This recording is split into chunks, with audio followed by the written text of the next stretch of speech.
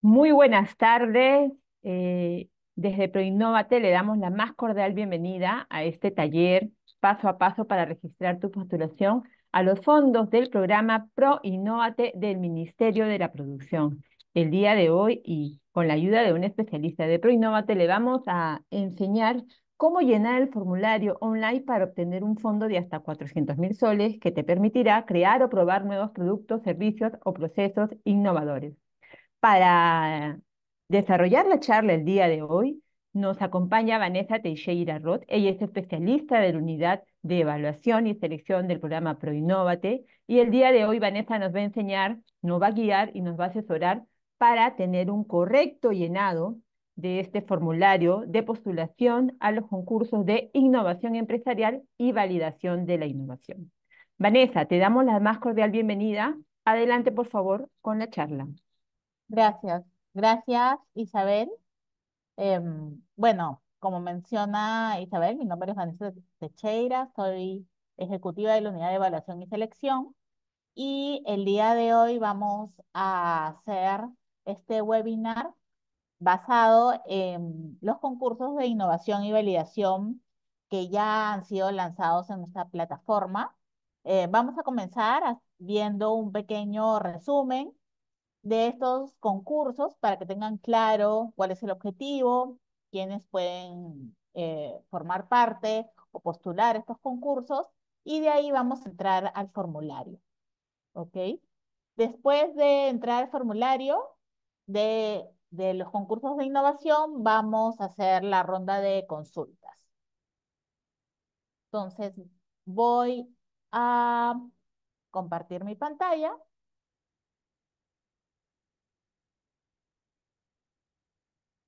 ¿Me confirman que la pueden ver? Sí, sí se ve. Ya, perfecto, gracias. Em, primero que nada, eh, nosotros somos ProInnovate, para los que no nos conocen. Somos un programa nacional de desarrollo de innovación, em, de desarrollo tecnológico de innovación eh, del Ministerio de la Producción, que tiene eh, como fin principal impulsar, impulsar y consolidar la innovación y el emprendimiento innovador, así como el desarrollo tecnológico productivo en el país, ¿no? Seguro eh, alguno de ustedes nos conoce por nuestro antiguo nombre, que era Innovate Perú, y también hemos sido FinCIT, ¿no? Tenemos más de 15 años de estar ya eh, lanzando concursos relacionados a innovación emprendimiento innovador. ¿Qué, ¿Cuál es la labor que hace ProInnovate?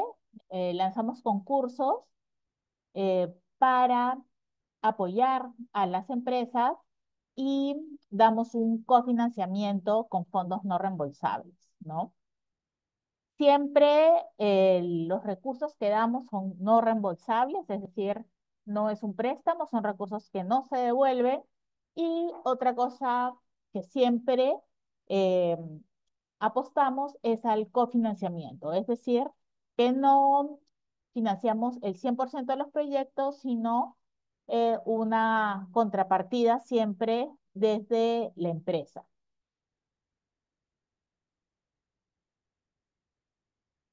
Entonces,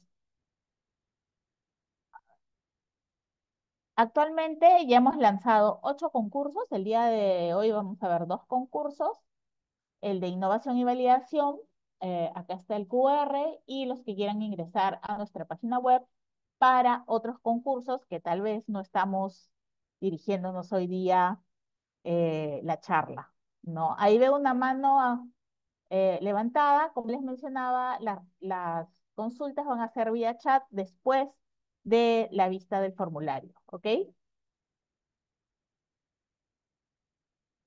Bien. Primero que nada, hay que tener claro el concepto de innovación. Nosotras utilizamos el concepto del Manual de Oslo del 2018, donde menciona que la innovación es un producto, proceso nuevo o mejorado, o puede ser una combinación de ambos, que difieren significativamente de los productos o procesos anteriores de la empresa y que ha sido introducido en el mercado o implementado por empresa. ¿Ok? Eso es innovación. Es ya sea un producto o un proceso nuevo que tiene que llegar al mercado, ¿no? Esa es, esa es la diferencia con una idea, ¿no? Eh, lo importante en la innovación es que lo que nos interesa como ProInnovate es que ese producto o no proceso que ustedes están llevando a cabo termine en el mercado y sea implementado. Como mencionaban al comienzo, ah, los vamos a ver dos concursos. El concurso de innovación empresarial, que en este lanzamiento está dirigido a microempresas y asociaciones, que tiene fondos hasta de 180 mil soles de cofinanciamiento, y el concurso de validación de la innovación, que tiene fondos hasta de 400 mil soles eh, para cofinanciamiento, ¿no? Eh, estos dos concursos son concursos muy, muy antiguos en ProInnovate, son los concursos que, que hemos tenido durante muchos años y son un pilar fundamental para ProInnovate.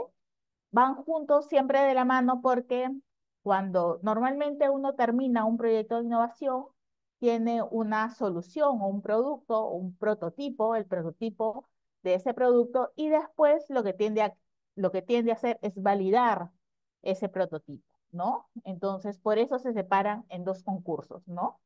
Y en innovación tú tienes tu producto final, que es el prototipo, y en el concurso de validación validas el prototipo, validas técnicamente, comercialmente, ese prototipo que hiciste en el primer concurso. Por eso son dos concursos separados. En el concurso de innovación empresarial es desarrollar nuevos productos que respondan a una necesidad o oportunidad del mercado. En este concurso que se ha lanzado hay dos categorías, la categoría de asociaciones y la categoría 2, que es de microempresas y cooperativas agrarias, ¿no? Entre los requisitos importantes está de que las entidades solicitantes deben tener un año o más de funcionamiento continuo tienen que tener ventas mayores a cero hasta 150 UITs, las, las asociaciones, y ventas superiores a cero y hasta 150 UITs para microempresas y cooperativas agrarias, ¿no? Deben ser personas jurídicas de los sectores productivos de bienes y servicios legalmente constituidas en el país con un RUC activo y, y habido, ¿no? Y como les mencionaba, en este concurso de innovación empresarial, el cofinanciamiento es de hasta 180 mil soles, que representan hasta el 80% del valor del proyecto, ¿no? El 20% restante lo tiene que poner la entidad solicitante, ya sea en recursos monetarios o, no monetarios, según las bases. Em, entonces, acá podemos ver eh, cómo postular, ¿no? La página web. Eh, vamos a entrar en unos momentos al Ingenius, que es nuestro sistema en línea, por donde nos hacemos todas las postulaciones, ¿no? Toda la postulación de cualquier concurso de ProInnovate se realiza vía virtual a través del sistema Ingenius, ¿no? Esta, este concurso de innovación empresarial cierra, o sea, tienen que enviar ustedes sus propuestas antes del 4 de junio y hasta la 1 pm, ¿no? Ahora les recomiendo que no lo hagan el mismo día ni el último minuto, porque siempre eh, se espera al final y siempre, como cualquier sistema, puede haber problemas de envío por la cantidad de eh, eh, postulantes que podría haber, ¿no? Entonces, eh, si tienen alguna consulta, especialmente de las bases del concurso, ¿no? que están en la página web, tienen que escribir a innovacionempresarial.proinnovate.gov.pe. ¿no? Igual, hoy día vamos a contestar cualquier duda que tengan sobre el concurso, ¿no? Después de ver el, el formulario de innovación. En este, este concurso es la primera vez que se hacen dos fases. La fase que en estos momentos está vigente es la fase 1.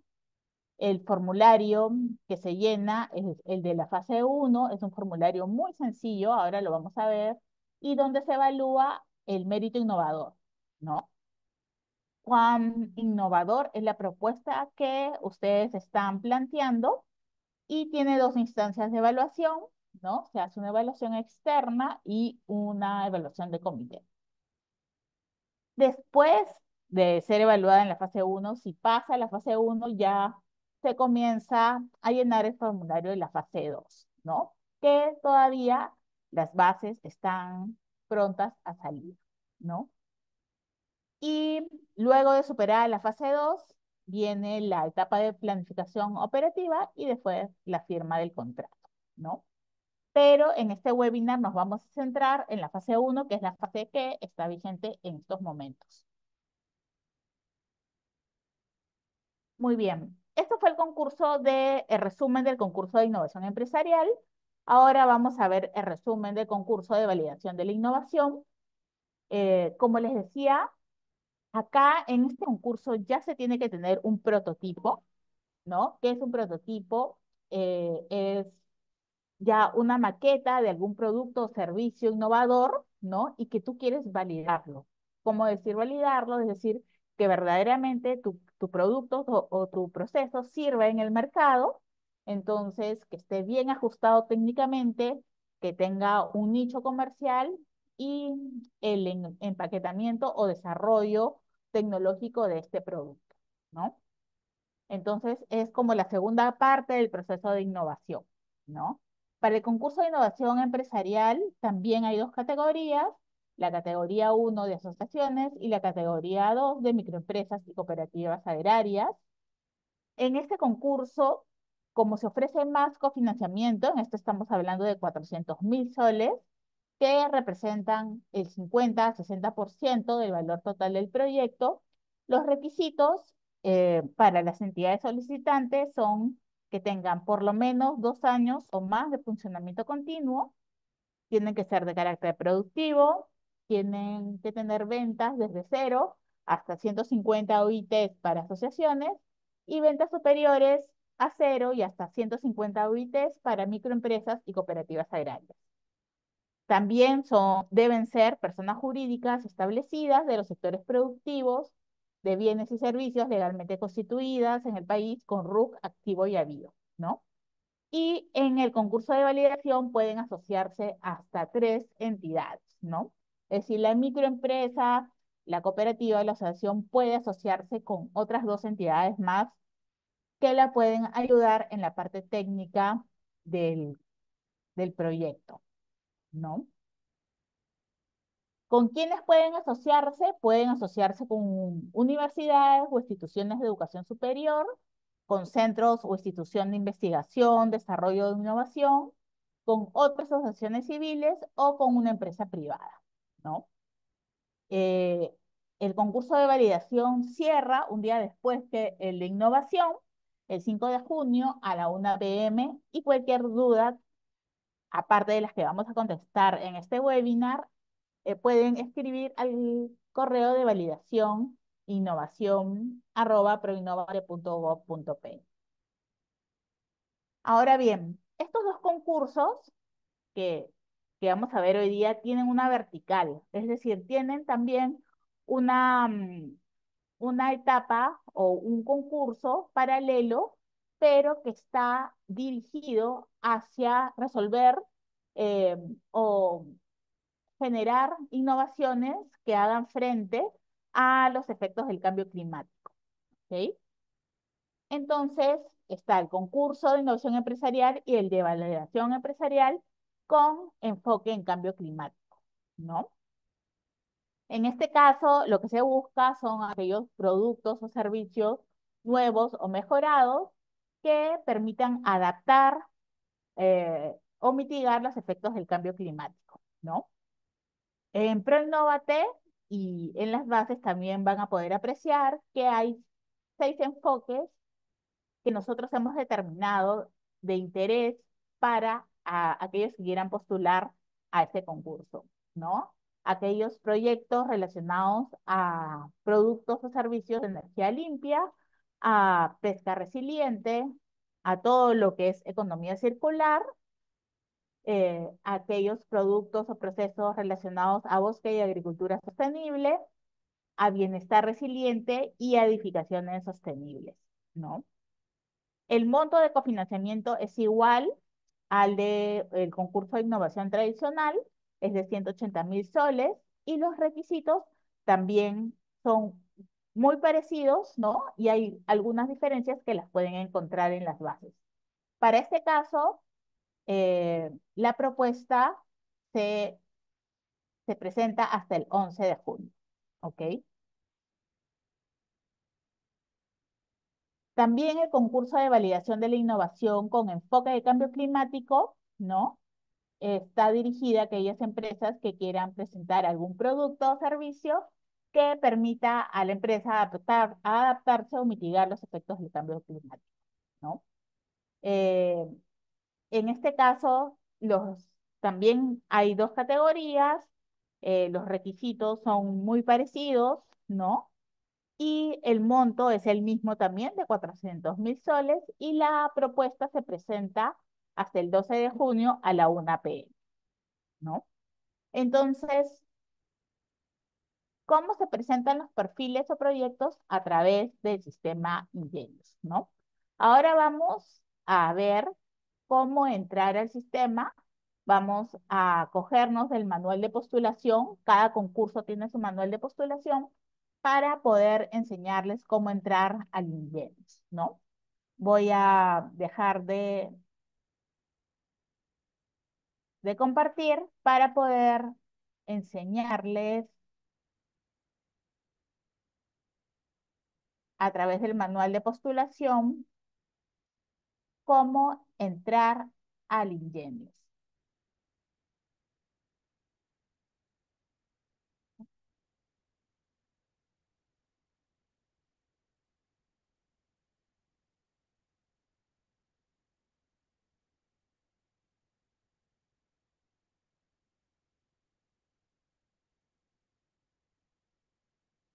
Listo. Entonces, si ustedes quieren postular a alguna de las propuestas que yo les acabo de explicar o ya lo están haciendo, ¿no? Saben que tienen que entrar a esta página web que es ingeniusproinnovate.gov.pe. ¿Ok? Y esta es la pantalla que les va a, que les va a salir. Ahora bien, si ustedes no, no nunca han ingresado a esta página web, no tienen un usuario o contraseña, tienen que cliquear acá donde dice registrarse ahora, ¿ok?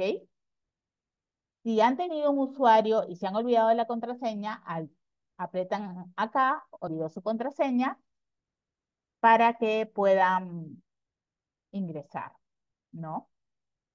Eh, nosotros recomendamos que eh, se ingrese con el correo electrónico de representante legal de la entidad solicitante, ¿no? Porque al final los resultados del proceso de evaluación se, se envía al representante legal y al coordinador general del proyecto, ¿no? Entonces, si apretaron, olvidó su contraseña, ¿no? les va a llegar un mensaje eh, para recuperar la contraseña, ponen otra contraseña y van a poder, ¿no? Eh, les va a llegar un correo al correo electrónico que tenían ya registrado y ahí van a poder entrar al sistema. Ahora bien, si nunca han entrado al sistema, como les mencioné, ¿no? tienen que entrar acá, registrarse ahora. Cuando llegan a registrarse ahora, les va a abrir este pequeño formulario, ¿no? Este pequeño formulario para que ustedes se puedan registrar, donde les pide los datos, ¿no? Su DNI, su nombre, el correo electrónico con la contraseña que ustedes van a crear, ¿no? Y apretan no soy robot y se envía a registro. ¿no? Una vez que ponen, que llenan este, este pequeño registro, les va a llegar un correo electrónico a ese correo que ustedes han registrado, ¿no? Donde le, ProInnovate les va a pedir activar su cuenta, ¿ok? Y van a activar su cuenta. Van a activar su cuenta y les va a llevar a esta página donde dice su cuenta ha sido activada. ¿No? Y va a ingresar la nueva contraseña, ¿no? E ingresar al formulario, ¿no? Cuando, cuando hacen ese proceso de registrarse, les llega el correo, activan su cuenta y ingresan con su contraseña, van a llegar a este, a este punto, ¿no? A esta página donde ya acá va a salir su nombre, ¿no? Va a salir su nombre y van a tener esta pantalla, ¿ok? Esta pantalla donde ahí van a comenzar, ¿no? A buscar su postulación, dónde van a postular, ¿ok? En este...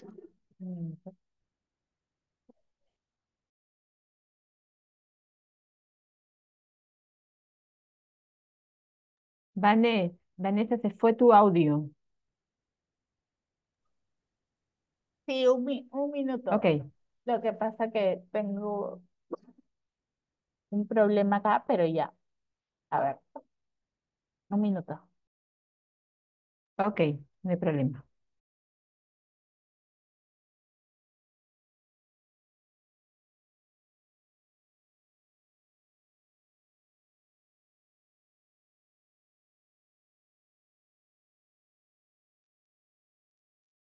Listo, ya arreglé el problema.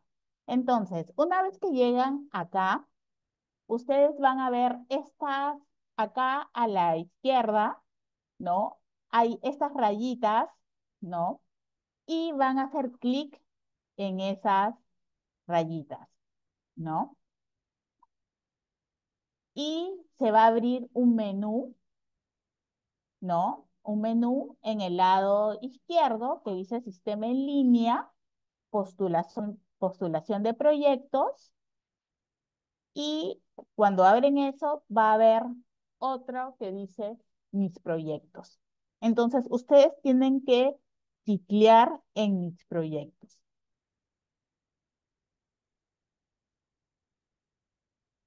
Cuando cliquean en mis proyectos, les va a salir todos los concursos que están actualmente lanzados por ProInnovate, ¿no?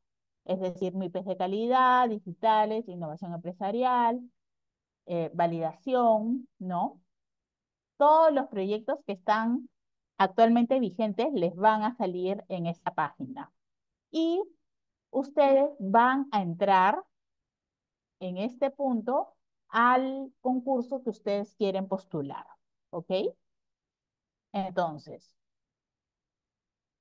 cliquean ahí en, e, en este cuadrado blanco con esta flechita negra y ustedes van a entrar al formulario, ¿ok?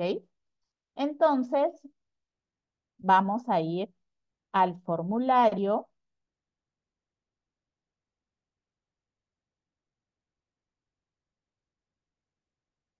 al formulario de postulación que está en el sistema, es un formulario.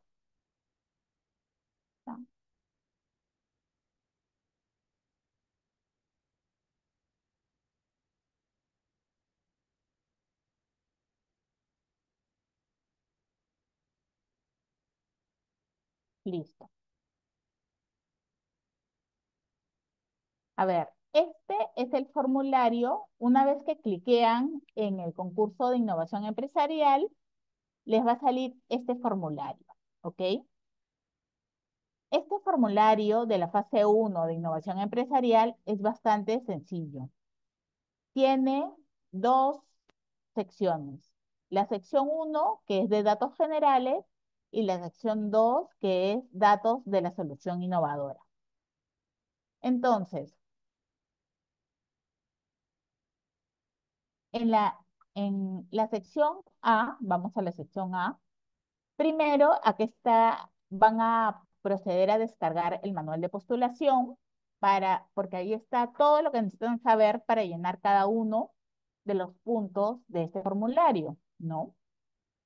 Acuérdense que ustedes ya deben haber descargado las bases. Las bases son súper importantes que ustedes las lean bien porque ahí está todos los requisitos y, todas las reglas del proceso de postulación y evaluación de cada uno de los concursos, ¿ok? Entonces, una vez que están en el formulario, descargan el manual y pueden comenzar a llenar el, el formulario, ¿no? Ven este lapicito verde acá, ustedes apretan acá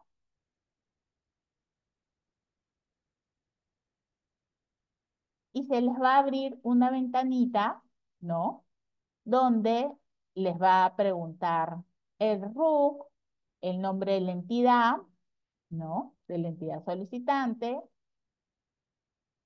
si es una asociación civil, ¿no? Si es una cooperativa, en ese caso, si es una asociación civil o cooperativa, en tamaño de la empresa, como no es una empresa, ponen no definido, no aplica, ¿no? Si es una asociación o una cooperativa, acá en tamaño de la, de la empresa ponen no definido, no aplica. Si es una empresa, ¿no? Las único tipo de tamaño de empresa de este concurso que está lanzado es de microempresa, ¿no? Acá tienen que digitar la dirección, ¿no?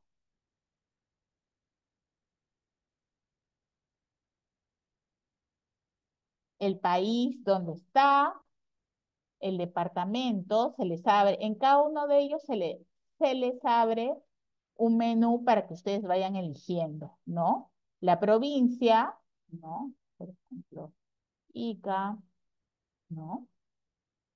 Chincha, distrito, ¿no? Chincha Baja, la fecha de constitución eh, de su microempresa o de su, de su cooperativa, de su, asociación, cuando inició actividades, ¿no? Esos datos están en la ficha RUC, el teléfono, el correo electrónico de la entidad y la, si tiene página web, ¿no? El SIU, ¿no? El SIU también ustedes lo pueden eh, una vez que ponen el RUC, acá se le va a abrir el menú del SIU al que está definido ese RUC que ustedes están poniendo, ¿no? Y el sector económico. Y por último, las ventas anuales en el año 2023. Una vez que tienen todos los datos llenados, ¿no? Ponen grabar, ¿no? Y se graba los datos.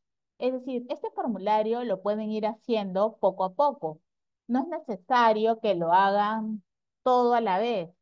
Como van a entrar con un usuario y contraseña, lo pueden ir haciendo poco a poco. Solo tienen que ir grabando la información para que no se pierda, ¿ok? Porque su formulario va a estar ahí. Sí pueden grabar y pueden salir y volver a entrar siempre con el mismo usuario y contraseña para que puedan encontrar los datos de su formulario. El otro punto que se les pide es el de representante legal, ¿no? También apretan acá en el lapicito verde y les van a preguntar el tipo de documento que tiene el representante legal de la, de la empresa o de la asociación o de la cooperativa, si es DNI o carnet de extranjería, ¿no? Y el número, ¿no? Y de ahí pueden buscar, ¿no? y les va a salir, ¿no? Eh, una vez que buscan y como está ligado el sistema a la RENIEC, le van a salir, ¿no? Los datos de representante legal, pero hay unos datos que tienen que llenar, ¿no? Nombre, apellido, fecha de nacimiento, género, celular, ¿no? Correo electrónico. Estos dos datos son bastante importantes que sean datos que el representante legal verdaderamente utilice, ¿no? Porque como les había mencionado, todas las comunicaciones que tiene ProInnovate es con, la, con el representante legal de la empresa, ¿no? Los resultados de evaluación se dan y se comunican al representante legal de la empresa. Así que ese correo electrónico y, y ese celular deben ser celulares y correo electrónico que sean hábiles, ¿no? Que estén, que sean vistos por el representante legal de la empresa, asociación o cooperativa que está solicitando, ¿no? Que está postulando a este concurso, ¿no? Por ejemplo, acá, si ustedes no llenan algo, ¿no? Me va a salir una alerta que me está diciendo, ¿sabes qué? Tienes que poner el género, ¿no? Y ingresar, ingresar un celular, ¿no? Y grabo.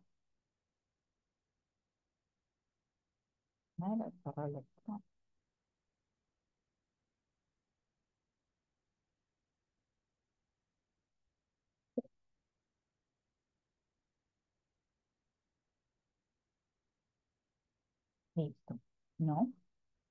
Entonces, esto es lo que te piden en la sección A de innovación empresarial. Ahora vamos a la sección B.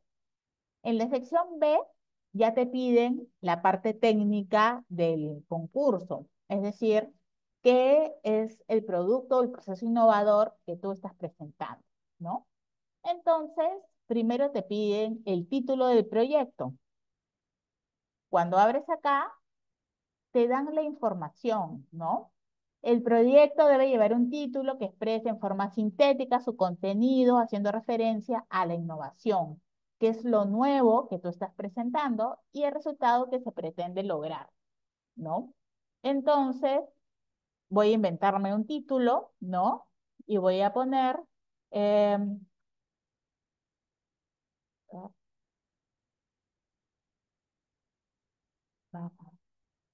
nutritivas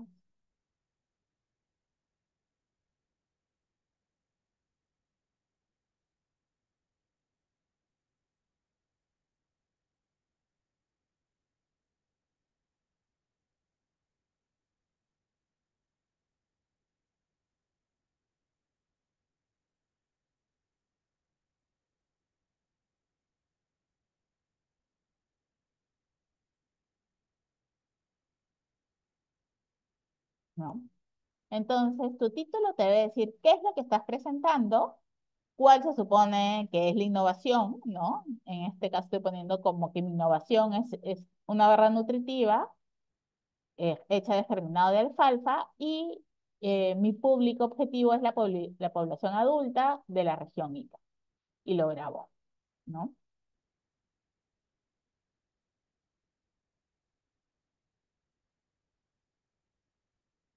Palabras claves.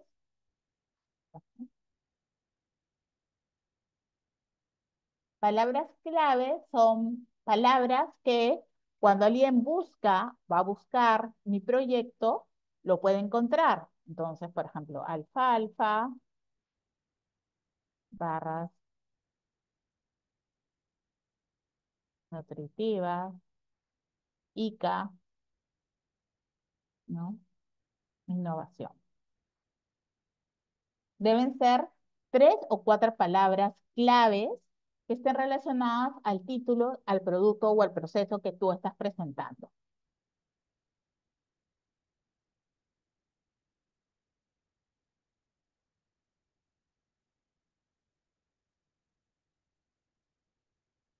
Después te van a pedir a qué área de innovación eh, pertenece el proyecto que tú estás postulando, ¿no? Y acá se va a abrir un menú con las alternativas que tú puedes escoger, ¿no? Por ejemplo, esta es de alimentos, ¿no? Entonces yo le voy a poner alimentos, industria alimentaria, ¿no? ¿Dónde se aplica? ¿Dónde se aplica? Porque no necesariamente, em, no necesariamente la innovación se da en el mismo sector donde se, aplica, ¿no? Entonces voy a poner comercio.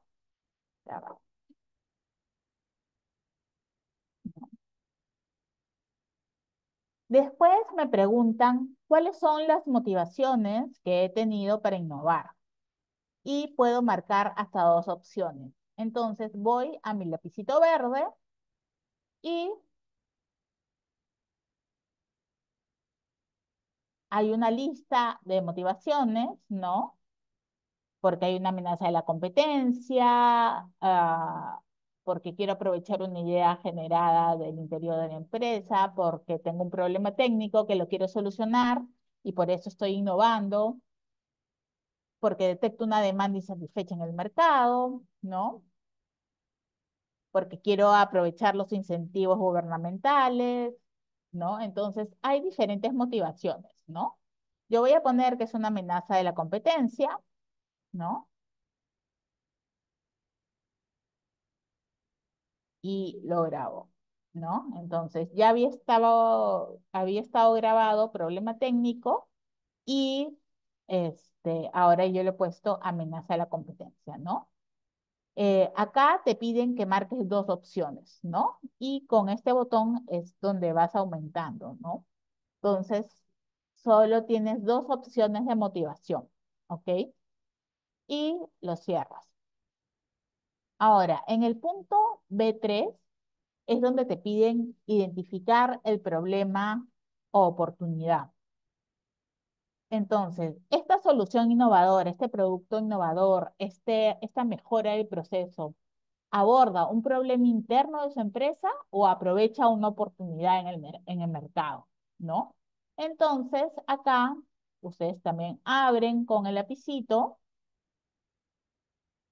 y eligen cuál de los dos es, ¿no? Yo, yo voy a poner que es una oportunidad en el mercado y lo grabo.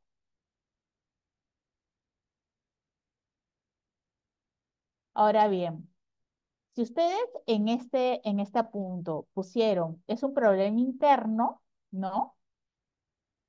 Vamos Voy a poner un plan interno para que podamos, ¿no? Me tienen que identificar, ¿no? En qué proceso se encuentra el problema que debo solucionar.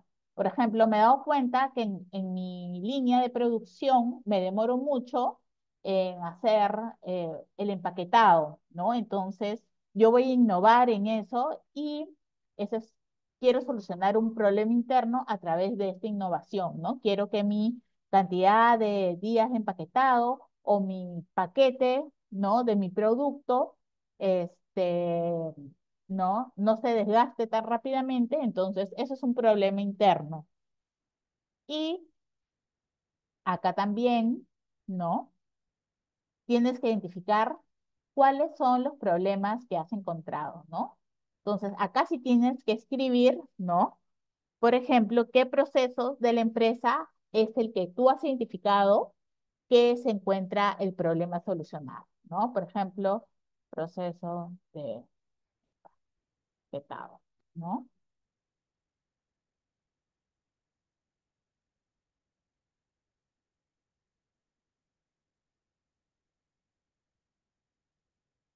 Es muy largo.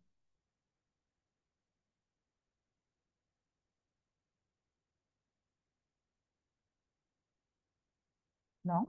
Entonces, acá identificas ese problema interno, ¿no? Que tú has tenido y por el cual te ha nacido innovar y, y solucionar ese problema, ¿ok?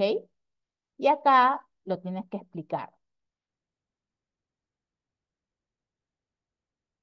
En este punto B.3 es importante porque acá sí tienes que escribir al detalle cuáles son las, eh, el problema o oportunidad de mercado que tienes utilizando métricas, ¿no? Utilizando datos, ¿no? Si es una oportunidad de mercado y has visto que tu producto no hay o en el mercado, no está, y tú has encontrado un nicho eh, a quién dar este producto, tú tienes que ponerlo ahí. ¿Cuál crees que es tu nicho de mercado?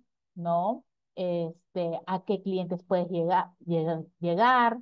¿Por qué vía? Todos estos datos los tienes que poner en este punto B.3.3, ¿ok?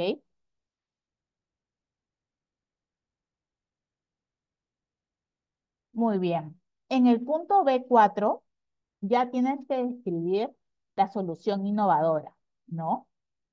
Es decir, ¿qué es lo que tú estás proponiendo como solución innovadora? Y tienes que describirla, ¿no? Es decir, tienes que tomarte tu tiempo para eh, definir, ¿no? Por ejemplo, yo comencé con la barra energética, entonces una barra energética que está compuesta de diferentes, este, de una mezcla, ¿no? De, de germinados, la mayor con estas proporciones, ¿no? Y que tienen, al final, mi producto va a tener tantos gramos de proteína, eh, tantos gramos de calcio, de fierro, ¿no? Entonces, y esa descripción, ¿no? Tiene que ceñirse a lo que después vas a poner de cuáles son las características de ese producto que lo hacen diferente a lo que está actualmente en el mercado. ¿Ok? Entonces, acá tienes que, describir toda esa solución innovadora. Acá tienes que elegir de dónde nace esa solución innovadora, cómo se vino a la mente esa solución innovadora, ¿no?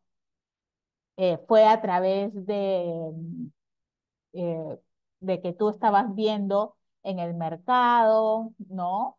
Este, que no había este producto o tal vez este, viste que no querías que tenías unas mermas en tu producto actual que es diferente y que podías utilizar esas mermas para hacer otro producto, ¿no? ¿De dónde nace esta idea innovadora, ¿no? Y también la describes y la grabas.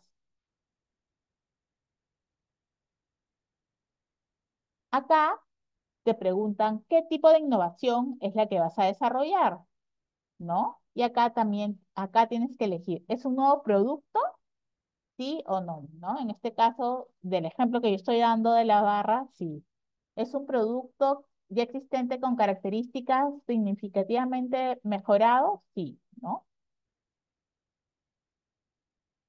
Acá un nuevo producto, porque ya hay barras energéticas, ¿no? Entonces, es un producto que ya existe porque hay barras energéticas, pero tiene características diferentes, ¿no?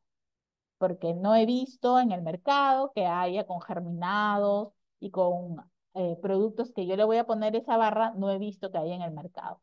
Es un nuevo proceso, no, y tampoco, ¿no? Mi fin es, lo que yo voy a llevar al mercado es mi barra, mi barra energética, mi producto, entonces para mí este es mi innovación. Es un producto ya existente con características diferentes. Y grabo.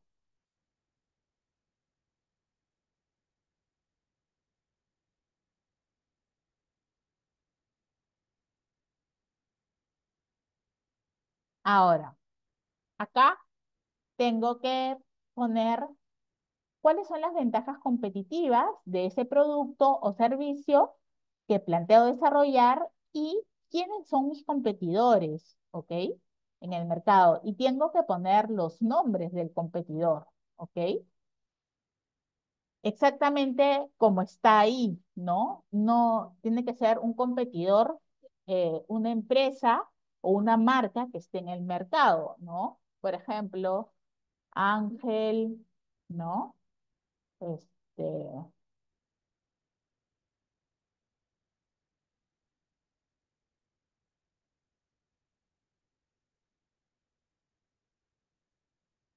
¿no? Por ejemplo, estas, hacen, estas, estas empresas hacen barras, entonces son mis competidores, ¿no? Y grabo. ¿Con qué marcas, con qué producto o que tú estás compitiendo, está compitiendo tu innovación?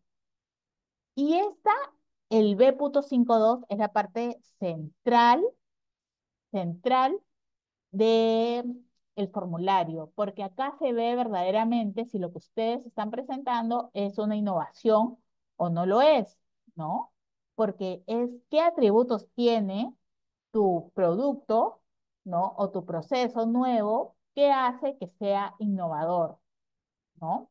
Entonces, acá tú tienes que nombrar los atributos que tiene, ¿no?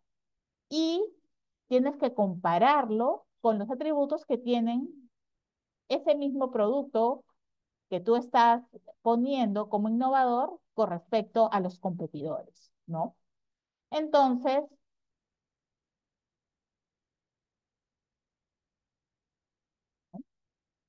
acá te explican qué es un atributo, ¿no? Un atributo es una característica, cualidad distintiva que describe o define a un bien o servicio, ¿no? Los atributos pueden ser técnicos, económicos, comerciales, pueden ser también características tecnológicas o funcionales del producto, ¿no? Y eh, es importante que se defina bien estos atributos, ¿no? Por ejemplo, nombre del atributo, voy a poner este, gramos de proteína.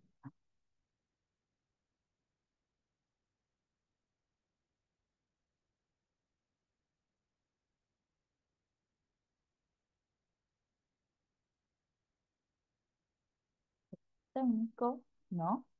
Actualmente em, la, la barra que tienen, por ejemplo, tienen 4 gramos de proteína, ¿no?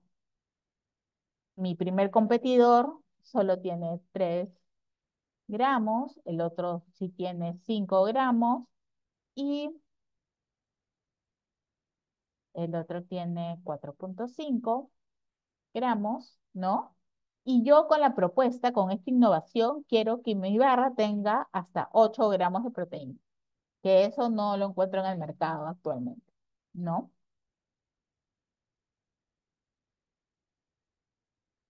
Después, otro atributo puede ser, ¿no? Eh, el tipo de, eh, de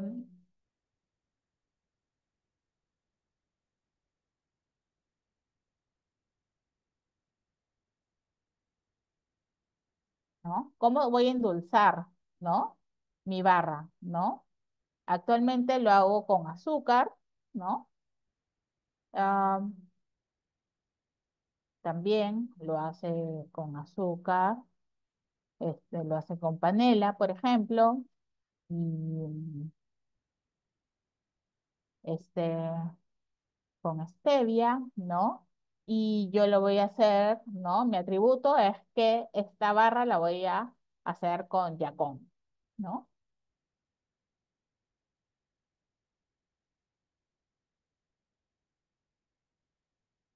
Entonces, yo a través de este cuadro, yo lo que tengo que representar es que mi innovación que están presentando verdaderamente es innovadora, ¿no? Que mis competidores no tienen lo que yo voy a sacar a partir de este proyecto, ¿no? Que no existe en el mercado eso actualmente, ¿no? O que si existe yo lo voy a mejorar, ¿ok? Pueden poner la cantidad de atributos que ustedes deseen, ¿ok? Y cuando terminen de poner todos los atributos que ustedes pretenden lograr con su proyecto, ¿no? Cierran eh, este punto.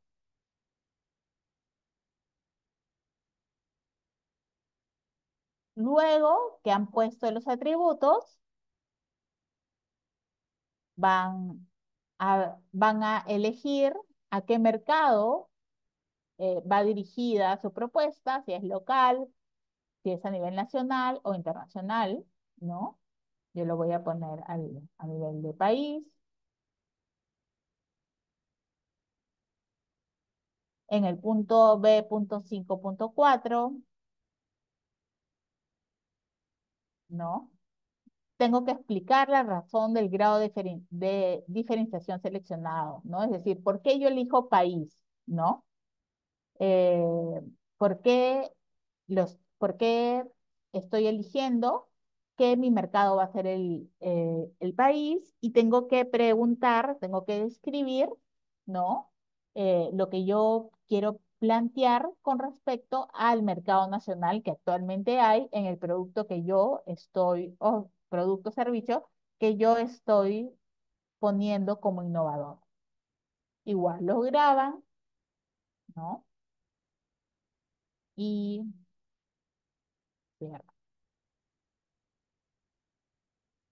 Después, en, el último punto del B.5, dice, después de revisar y detallar sobre tu solución innovadora, seleccione la opción que más se acerque a lo que está planteando en su propuesta.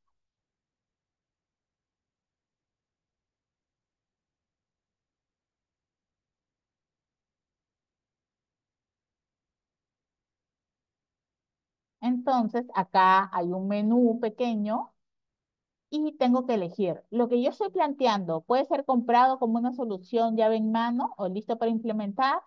Lo que yo planteo puede ser desarrollado a través de un servicio de fabricación de terceros y no representa mayor riesgo.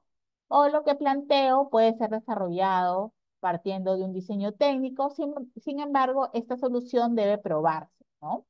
Yo creo que es la última porque no he visto que hay en el mercado algo parecido, no sé si va a funcionar, yo creo que sí, hay un riesgo, toda innovación implica un riesgo, y ese riesgo es justamente que ProInnova te toma con ustedes. Si no hay un riesgo fuerte, pues ahí tienen que cuestionar si verdaderamente lo que están planteando es innovación, ¿no? Normalmente cuando uno innova siempre hay un riesgo, un porcentaje de riesgo que no sabe si va a funcionar esta solución que tú estás planteando.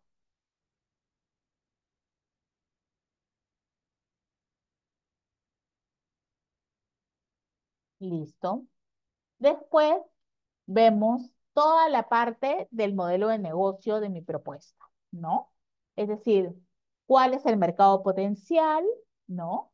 De la propuesta que yo estoy postulando, ¿no? ¿Cuáles son los segmentos de los clientes a los que se dirige? ¿Quiénes son los compradores? Qué necesidades o problemas resuelve a los clientes, cuáles son las fuentes de ingreso, cómo pienso monetizar esta solución, porque ya hemos hablado al comienzo que la innovación implica que este producto o este servicio va a llegar al mercado. Entonces, nos interesa saber que esta empresa, esta asociación, esta cooperativa va a ganar a partir de esta innovación, ¿ok? Y por eso nos interesa saber cómo van a monetizar esta solución innovadora, ¿no? Cómo la van a convertir en dinero. Y qué alianzas o colaboraciones estratégicas son importantes para el negocio. ¿Ok? Ahora, este punto, el punto B, punto 6.6, es importante porque nosotros tenemos que estar seguros que la empresa, la cooperativa, la asociación, así como nosotros estamos poniendo un cofinanciamiento, ellos también están complementados y están seguros de desarrollar este proyecto. Entonces necesitamos que nos digan, ¿no? ¿Quién de tu empresa participaría en el desarrollo de esta solución? Entonces acá ustedes tienen que poner al personal, a la persona de tu empresa, de tu cooperativa que va a participar en el proyecto, ¿ok? Ponen un DNI, ¿no?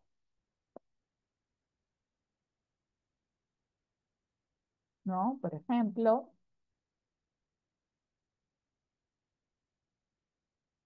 ¿no? Esta soy yo. Y, ¿no? La entidad a la que pertenece, el instante, ¿no? Y grabo, ¿no? Entonces, acá ustedes tienen que poner todos aquellos personales de su entidad, que van a participar en el proyecto, ¿no? En el punto B.7 hay un video de presentación. Esta parte es importante porque este video es el que van a ver las personas que los van eh, a evaluar. Este video, lo, ustedes lo pueden colgar en una plataforma, cualquier plataforma que ustedes deseen, pero sí lo importante es que no debe estar libre de contraseñas, ¿no? Es decir, no, nosotros cuando el evaluador pinche en el link del video, debe tener libre acceso a este video, ¿no? Y para que lo pueda ver, lo puedan ver, y en este video eh, tiene que complementar la información relevante de la postulación, ¿no? Es un video resumen máximo de tres, de tres minutos de lo que ustedes están proponiendo, ¿no? Y por último, el punto B8 es una lista de, chequeos de, de requisitos legales que está en el anexo 2 de las bases. ¿Ok? Y ahí se termina el formulario. Solo son dos secciones. Cuando ustedes, como ya les mencioné, ustedes pueden hacer el formulario poco a poco porque todas sus respuestas se van guardando. Antes de enviar, ustedes ponen verificar. Cuando ponen verificar, ¿no? Les va a salir todos los campos en que falta información, ¿no? Y ustedes tienen que completarla. Y después apretan el botón. Cuando ya quieren enviar su propuesta, estén 100% seguros, ¿no? Porque una vez que envían su propuesta, ya no se puede retroceder. Una vez que envía su propuesta, ya no se puede volver a abrir el formulario, ¿no? Entonces, apretan enviar, ¿no? Y igual el sistema les va a hacer la, consulta. ¿Están seguros? ¿No? Bueno, en este caso, como todavía no está listo el formulario, me dice, mm, su formulario se encuentra al 83.57, ¿no? Y no lo puede enviar. Es decir, acá debo llegar al 100% para enviarlo. Cuando estoy al 100% y aprieto enviar, me va a preguntar, ¿estás seguro de que quiere enviar? Y si yo aprieto que sí, se va a enviar la postulación y ahí ya no hay vuelta atrás. Ya su postulación entra al proceso de evaluación. ¿Ok? Esto es innovación empresarial y ahora vamos a ver rapidito innovación empresarial con enfoque de cambio climático que es muy parecido al formulario, solo que en el formulario de innovación empresarial hay algunos puntitos relacionados justamente al enfoque de cambio climático, ¿ok? Y de ahí vemos las dudas o consultas que tengan sobre estos, estos dos concursos, de innovación empresarial e innovación empresarial cambio climático. Y de ahí, después de las consultas de innovación, vamos a entrar a validación, ¿ok? Entonces, un ratito que voy a entrar al, al formulario de cambio climático.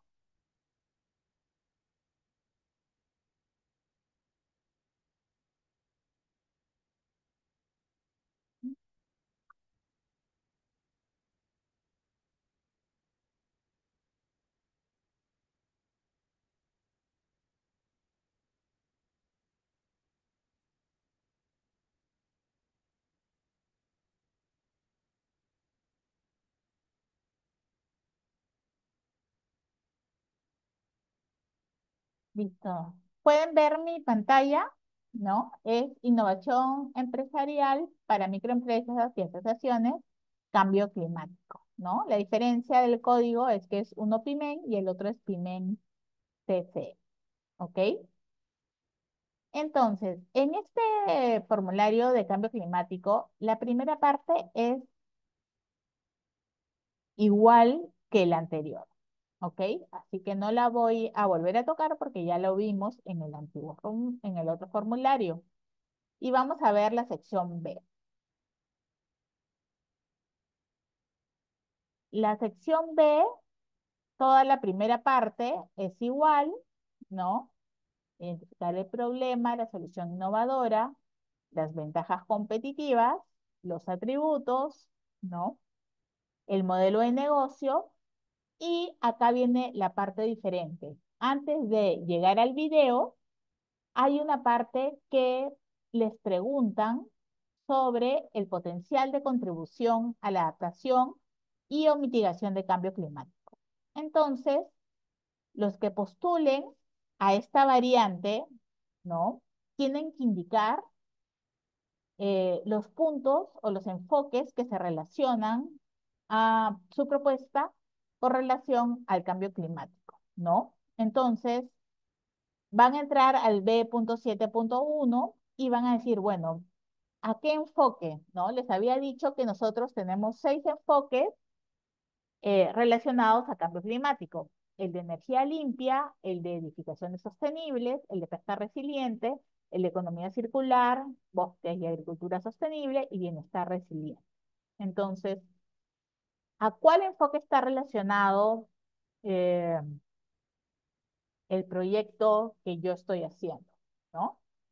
Por ejemplo, si mi proyecto está relacionado a reuso, reciclaje y valorización de residuos, está relacionado a economía circular, ¿no? Entonces pongo el enfoque de economía circular, ¿no? Y acá pongo la línea de acción, ¿no? Puede ser nuevos modelos de negocio, ¿no? Y acá se abren menús a qué proyectos relacionados, ¿no? Eh, podría estar mi, mi propuesta relacionada, ¿no? Por ejemplo, servicios que promuevan el escalamiento de reutilización de productos. Y si quiero agregar algo más, si como son seis enfoques definidos, si puede mi propuesta estar relacionado a más de un enfoque, sí. Y acá puedo definir eh, más por qué está relacionado a cada uno de esos enfoques, ¿no? Y grabo.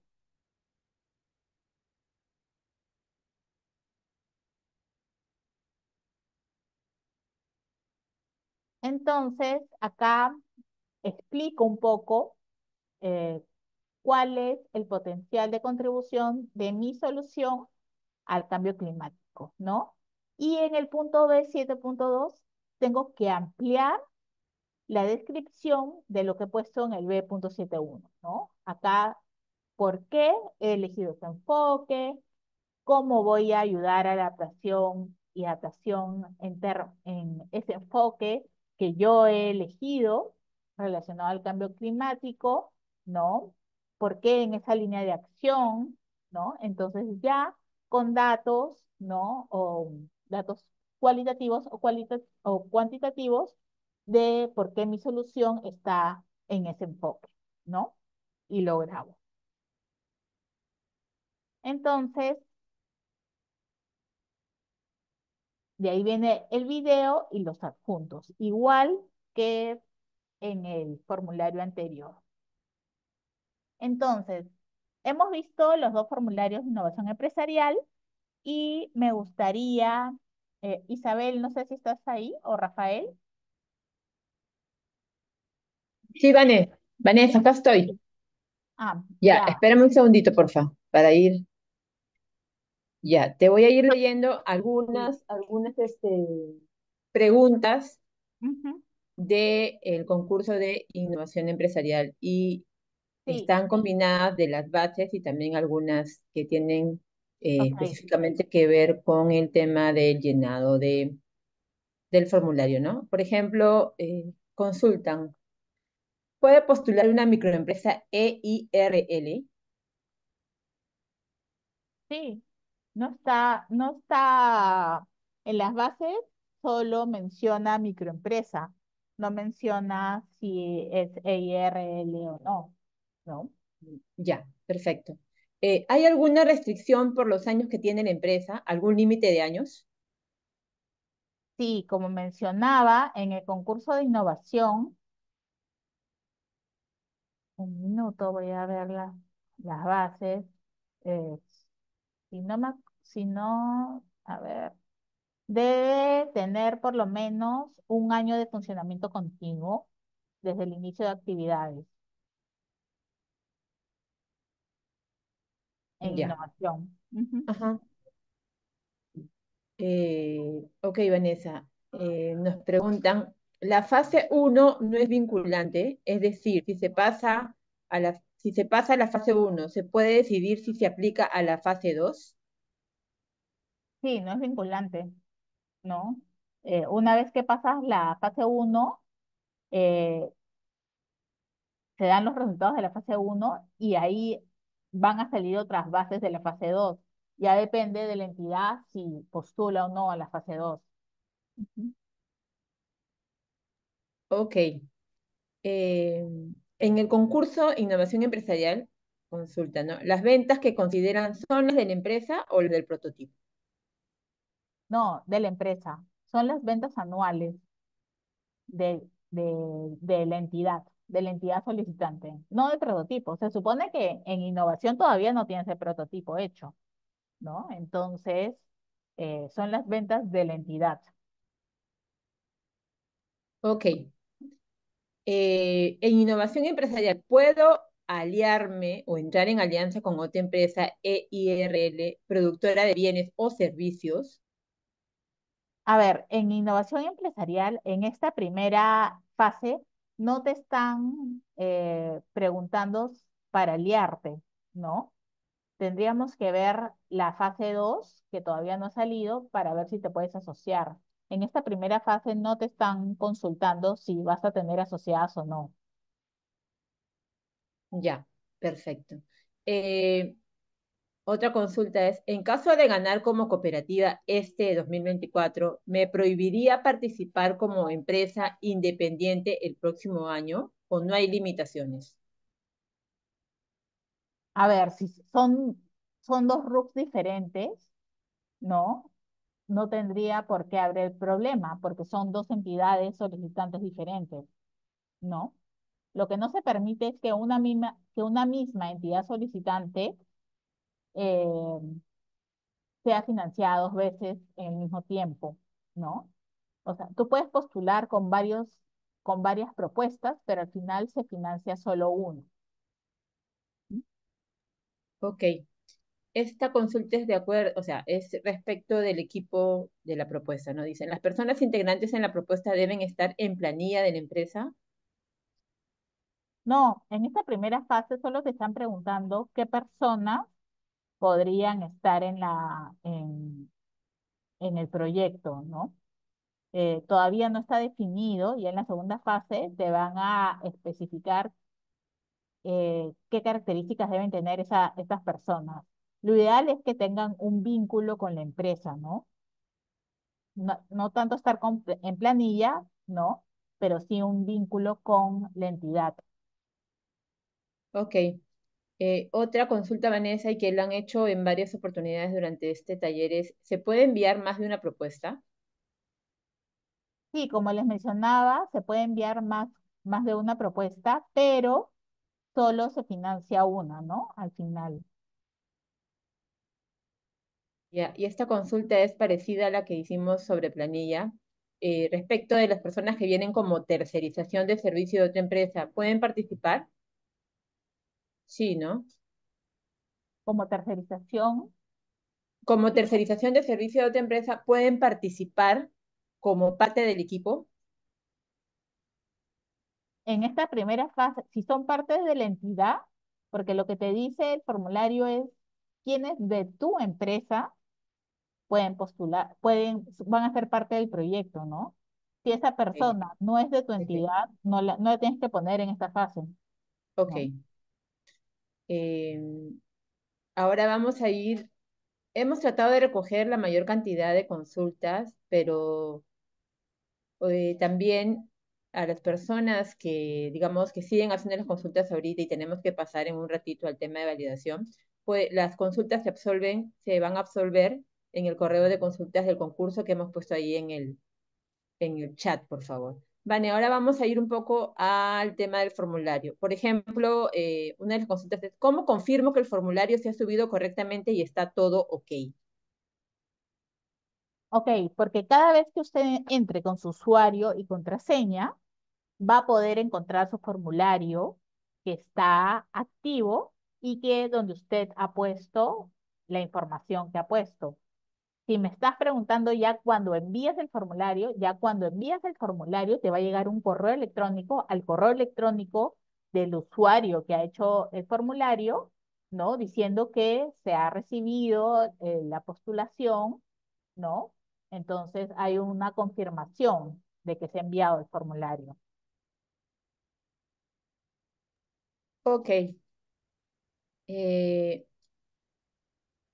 consultan, ¿la ficha de proyecto para la categoría 1 y 2 es igual? No, no es igual. En esta fase 1, este es el formulario, es como una ficha, todavía no es un proyecto, es, es un formulario muy pequeño. Y en la fase 2, los que pasen de la fase 1, se va a abrir el formulario para eh, hacer el formulario de la fase 2, que ya es más completo. Es parecido al que vamos a ver en validación, que ya no tiene solo dos secciones, sino puede tener cuatro o cinco secciones. Mm, ya, ok. Eh, sobre el concurso, bueno, eh, sobre el taller, sobre el taller, perdón, sobre el, sobre el formulario. Si tengo tres CIU, CIU en el mismo RUC, el formulario usa el primero que encuentre. No hay problema con el prototipo que no coincida con el primero, pero sí con el otro SIU. Sí, no hay problema, no hay problema. Ok. Eh, otra consulta es, en el ejemplo de la barra, o sea, me refiero a la barra que se estaba explicando, ¿no? La barra debe estar creada y haber sido vendida, o puede ser una idea de producto sustentado con lo que ya se ve en el mercado. Exacto. Acuérdense que el proceso de innovación no es que yo ya tenga la barra hecha, sino al contrario. O sea, el, el, el proyecto, ¿no? Me va a hacer el prototipo de la barra. Tampoco es una idea, ojo, ¿no? O sea, yo, cuando yo innovo, ya sé, ya está mi idea, ya mi investigación básica ya ha sido realizada y estoy en ese umbral entonces, quiero ver si lo que yo creo que va a funcionar, ¿no? Va, eh, quiero verlo en un prototipo. Entonces, eso es innovación. Si tú ya tienes tu prototipo y ya lo estás, ya lo estás vendiendo, pues hasta ya has, pasado el proceso de validación. Ese sería el concurso sería eh, de validación. Si tú ya tienes tu barra y todavía no la has vendido o quieres mejorarla, tendrías que postular a validación, porque ahí es donde se hacen los ajustes, ¿no? Eh, e innovación todavía tú no tienes el prototipo, todavía no está el producto que tú quieres innovar, ¿no? Ese es el, el logro final del proyecto. Ok, Vania, vamos a responder algunas preguntas más antes de ir al otro concurso. Eh, Estaban consultando sobre el anexo 2, los documentos que hay que adjuntar. ¿De innovación? Eh, sí, de innovación empresarial. Parece que esa persona no los puede ver o es lo que ha hecho, ha consultado en dos, dos, oportunidades, ¿no? No. El anexo 2 no, no, es, no tienes que adjuntar ningún documento, tienes que la, la lista de chequeo solo esa lista de chequeo la tienes que adjuntar. Esa lista de chequeo es como una declaración jurada. No tienes que adjuntar ningún documento más, solo esa lista de chequeo. Esa lista de chequeo eh, es lo que tienes que adjuntar. Si pasas la fase 1 y llegas a la fase 2, recién te van a pedir esos documentos que tú estás poniendo en la lista de chequeo, que tú estás diciendo que sí tienes. Pero en la fase 1 solo es la lista de chequeos. Ok, gracias, Vane. Eh, otra consulta es cuando trata de enviar el formulario del concurso, esta persona dice que le sale que debe dirigirse a un correo, eh, ¿no? El correo del concurso. ¿Eso tiene que ver algo con un llenado incorrecto? Mm, no, pero que lo mejor sería ahí que haga un pantallazo de lo que le sale cuando envía el formulario, ¿no? Y que lo envíe al, al correo del concurso, ¿no? Y que le pregunte, mira, me está saliendo esto porque eso es un tema de soporte, es un tema de sistema, es un sistema como es un sistema informático para solucionar ese problema. Ya. Eh, Vane, volviendo nuevamente a las preguntas de las bases. ¿La innovación son solo para productos o también para productos tecnológicos como softwares? Sí, también. Sí. Productos o de cualquier tipo, ¿no? Eh, software, ¿no? Yo, yo doy, he dado un, un, ejemplo este, de alimentos porque yo soy bióloga, ¿no? Pero sí, puede ser eh, una innovación de, de un software, ¿no? De una aplicación, sí, sí entra dentro del proceso del concurso de innovación. Ok, y ahora es una consulta respecto de los campos a llenar en el formulario. En caso de un nuevo producto que pongo en la parte de atributos de la solución innovadora, ¿cuál sería la diferencia del campo de situación actual del atributo y atributo de la propuesta del proyecto? Porque si es un nuevo producto sería lo mismo. ¿Se deja en blanco o cuál es la diferencia entre ambos campos?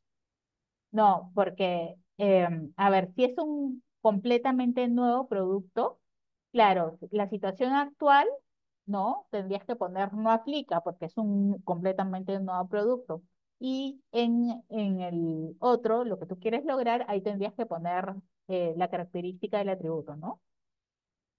Mm, ya. Vale, y ahora, ahora vamos con dos preguntas más para ir al otro concurso. ¿Te parece? Sí. Ya. Tengo dos años de funcionamiento continuo, pero ha sido suspendida la empresa un mes, luego reactivada. ¿Podría participar?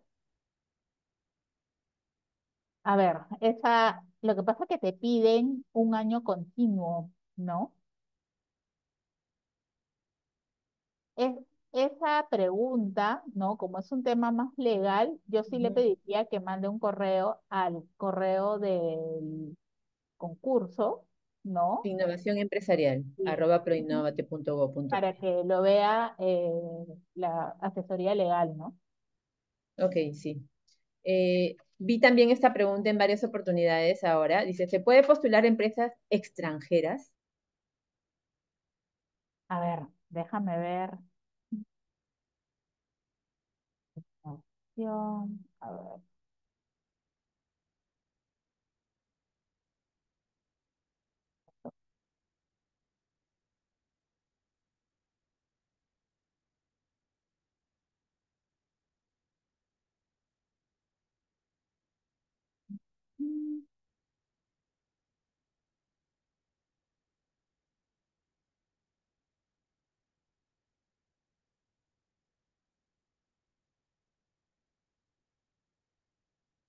A ver, en esta primera fase, lo que mencionan de la entidad solicitante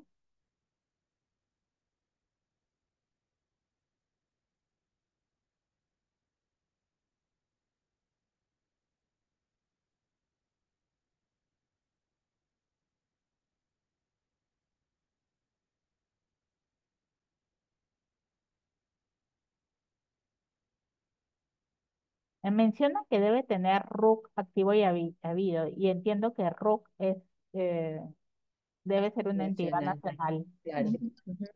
Ya. Vani, la última consulta es si podrías dar más ejemplos para la parte B.3.3 del formulario eh, respecto de las métricas que se considerarían para evaluación del proyecto. Punto 3, B.3.3. Ah, ok. Lo, lo que te piden acá es que eh, en base al, a la innovación que tú estás planteando, ¿no? Cuando se habla de métricas confiables, es que si es verdad el problema que tú tienes en tu empresa y la innovación que tú vas a, que estás proponiendo, eh, te va a solucionar el problema. Por ejemplo, lo que yo hablaba, ¿no? El tiempo de empaquetado es muy largo y yo con mi propuesta de innovación de, de mi tiempo era 10 eh, días, voy a reducirlo a dos días. Entonces estoy reduciendo casi el 80% de mi tiempo, ¿no? Eso se llama métricas confiables, ¿no? Es decir, estoy proponiendo métricas que puedan eh, definir y dar al evaluador la idea de que verdaderamente lo que tú estás proponiendo, tú ya lo has extrapolado y sabes que esa innovación puede ayudarte a solucionar tu problema, ¿no? Puede ser en disminuir costos también, ¿no? Costos eh, o generar más ventas, ¿no? Eh, esas son métricas confiables. Ok, Ivana, decirle a los asistentes también, como lo mencionamos hace un momento, que en caso su consulta no haya sido absuelta, por favor le solicitamos escribir a los correos eh, correspondientes de cada concurso. Vanessa, adelante con la otra parte de, de esta jornada, por favor. Listo, entonces vamos a ir a, a los formularios de validación de la innovación y validación de la innovación de cambio climático. Primero vamos a tocar el primero, porque el de cambio climático, igual que innovación, son muy parecidos, ¿no?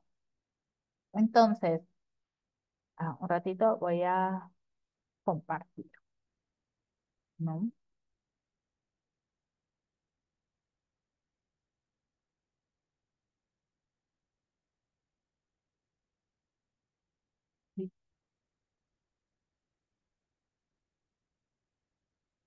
Bueno, vamos a entrar a los formularios de validación.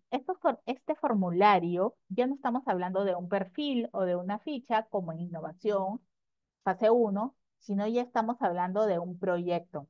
Como les decía, el concurso de validación ya es cuando uno tiene el prototipo, ¿no? De su producto y quiere validarlo. Tiene que validarlo, ver si funciona realmente en la, en la realidad ¿no? Entonces, eh, puede tal vez hacer algunos ajustes, pero tiene que validarlo técnica comercialmente, ¿no? En este caso, el formulario, como ven, tiene cinco secciones, ¿no? También tiene su manual de postulación. Lo primero que tienen que hacer es descargar el manual. Y acá se comienza también con datos generales, ¿no? Es decir, el título del proyecto, ¿no? Ya saben, el lapicito verde. Ponen el título del proyecto, ¿no? Acá vamos a hacer, por ejemplo,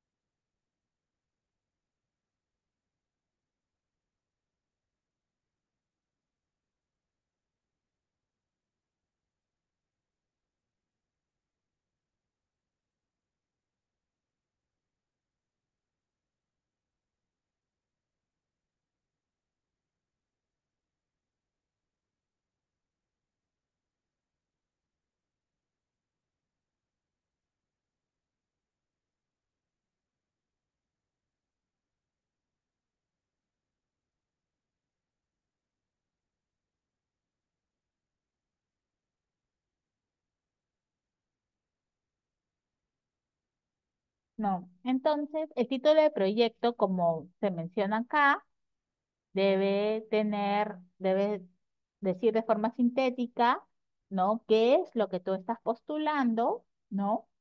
Y qué es lo, lo que vas a validar, ¿no?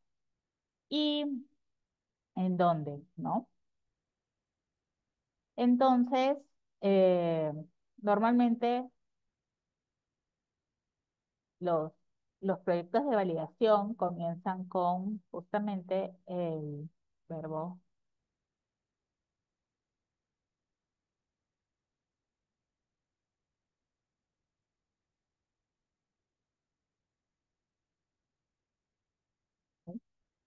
En palabras claves, como ya les mencioné, son palabras que van a ayudar a las personas a encontrar, a encontrar su, su proyecto. Por ejemplo,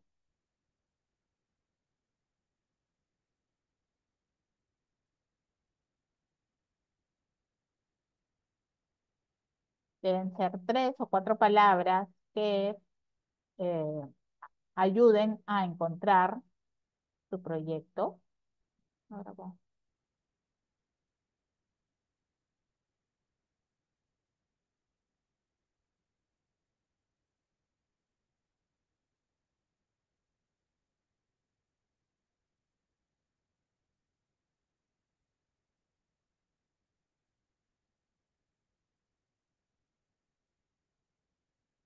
El área de innovación, igual que en, en, el anterior formulario, les va a salir un menú que ustedes tienen que elegir, ¿no?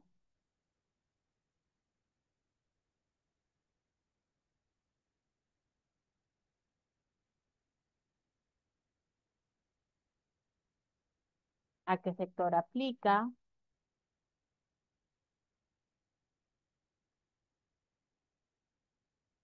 Acá tiene que poner dónde se va a llevar a cabo el proyecto. Puede ser en un lugar o en varios lugares, ¿no?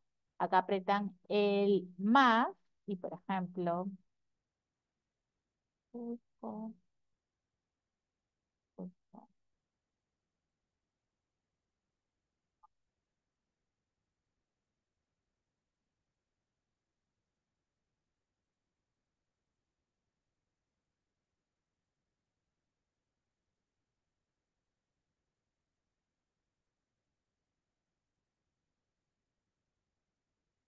¿no? Una parte, por ejemplo, se va a hacer en Cusco, pero en otra parte se va a hacer en Lima.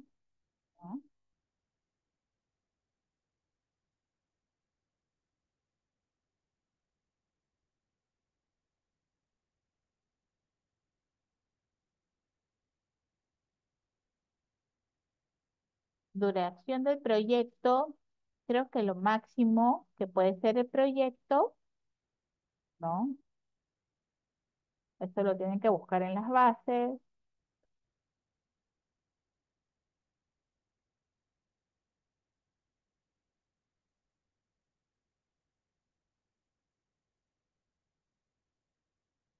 Son 18 meses. Entonces, acá ponen la duración de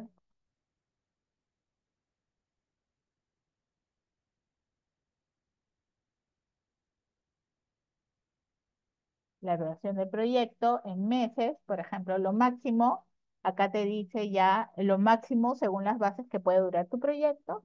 Entonces yo creo que mi proyecto va a durar 12 meses.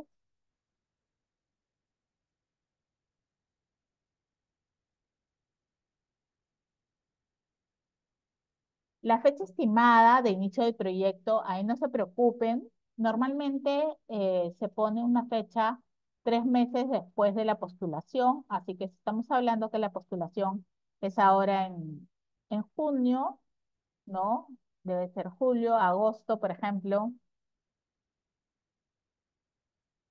Pero no se preocupen mucho por esta fecha porque en, el, en la reunión previa, ¿no? Si su proyecto aprueba eh, los todo el proceso de evaluación y llega a una reunión previa, eh, esta fecha se cambia, ¿no? Porque está relacionada a la firma del contrato. Así que ahí no se preocupen, pongan más o menos tres meses después de la fecha de postulación.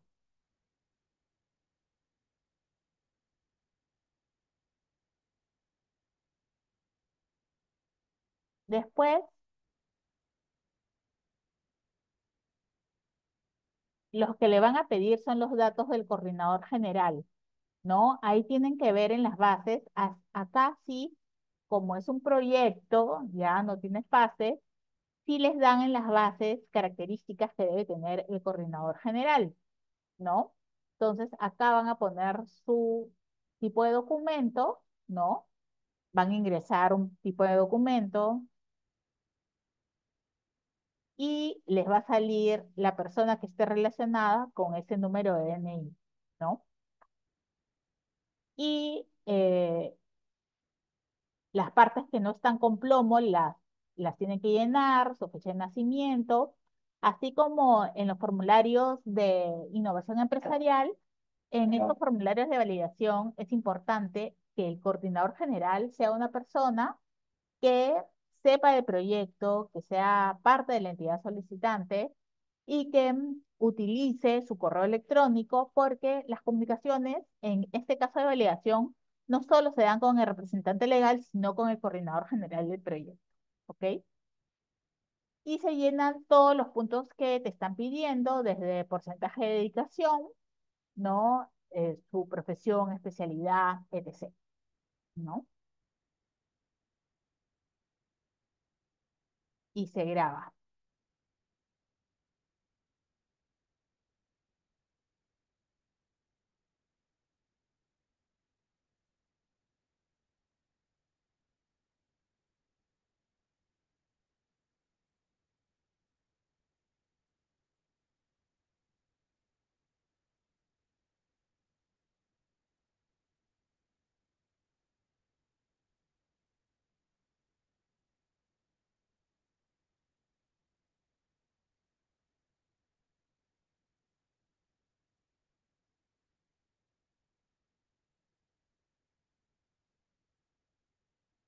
Entonces se llena los datos del coordinador general.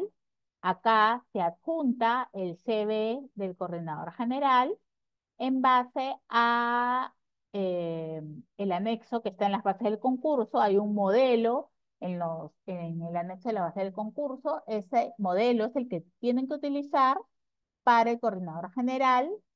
Llenan ese modelo y lo, y lo escanean y lo convierten en PDF porque acá se debe subir siempre, todos los archivos que se suban tienen que ser en PDF, ¿ok? Y se graba. ¿Ok? Después, también te piden los datos del coordinador administrativo. El coordinador general es el que lleva la parte técnica del proyecto, ¿no? El que se encarga de eh, hacer todas las actividades relacionadas al proyecto. El coordinador administrativo es el que ve la etapa, eh, la parte financiera del proyecto, ¿no? Eh, como estos son recursos no, no reembolsables, pero son recursos que se tienen que, que Proinnovate va, tiene que asegurarse que se realicen para el proyecto, ¿no? El coordinador administrativo es el que lleva todas las cuentas del proyecto, ¿no?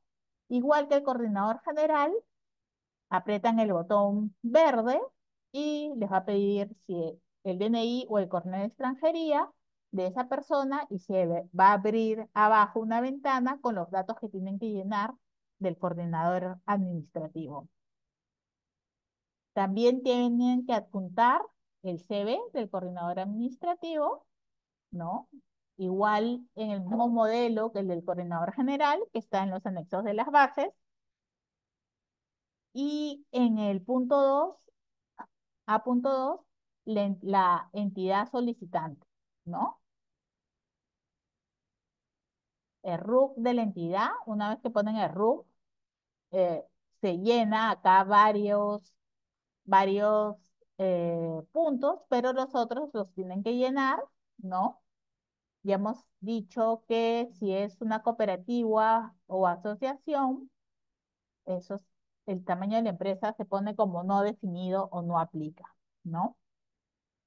Eh, les piden el número de trabajadores, el número de partida registral, ¿no? Y les preguntan si su actividad económica del SIU está relacionada al proyecto, ¿ok? Y lo graban.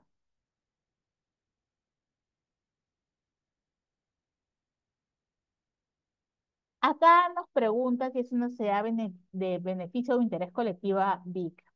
Esto eh, es un, nos preguntan, hay una página web que mencionan si es una sociedad de beneficio BIC y si lo es, tienen que apuntar el pantallazo que son una sociedad BIC, ¿ok? De ahí les piden la información del representante legal de la asociación cooperativa o microempresa. Y acá sí les piden qué entidades asociadas. Acuérdense que pueden tener hasta tres entidades asociadas eh, en este tipo de proyectos que pueden ser desde universidades o otras eh, eh, empresas, ¿no? Y lo que le va a pedir acá el formulario es que identifiquen a estas entidades asociadas que les van a apoyar, ¿no? Acá las entidades asociadas pueden ser peruanas o extranjeras, ¿no? Igual, este, si es peruana, te va a pedir el RUF y si es extranjera, te va a pedir el nombre de la entidad. ¿Ok? Y lo que se tiene que adjuntar es una carta de compromiso, ¿no? Que hay un modelo en los anexos de las bases, ¿no? En que la entidad asociada se está comprometiendo a eh, formar parte del proyecto.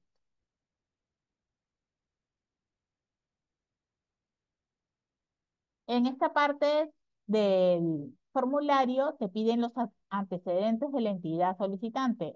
Es decir, nosotros necesitamos conocer a esta entidad para ver si va a poder realizar el proyecto. Entonces, necesitamos saber información comercial de la empresa, qué productos comercializa actualmente, ¿no? Eh, qué cliente estuvo en el 2022, qué cliente estuvo en el 2023, cuánto facturó, ¿no? De cada uno de sus productos o servicios.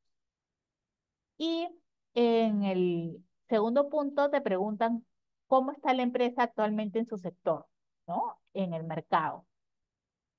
Después, si esta empresa, esta entidad, o esta asociación, o esta cooperativa, ha realizado alguna actividad en investigación, en desarrollo tecnológico o, o transparencia, ¿no? O transferencia de tecnología, ¿no? Entonces, igual ahí pueden eh, ustedes nombrar si han realizado eh, alguna de estas actividades, ¿no?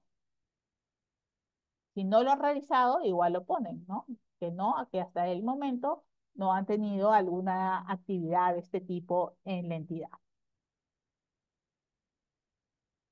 Después les preguntan, todo esto es de la entidad solicitante, ¿no? ¿Cuál es su principal infraestructura para física que tiene para poder realizar el proyecto, ¿no? Eso es importante porque eh, queremos saber si cuenta con toda la infraestructura o el proyecto lo va a apoyar en parte de la infraestructura para poder desarrollar el proyecto, ¿no?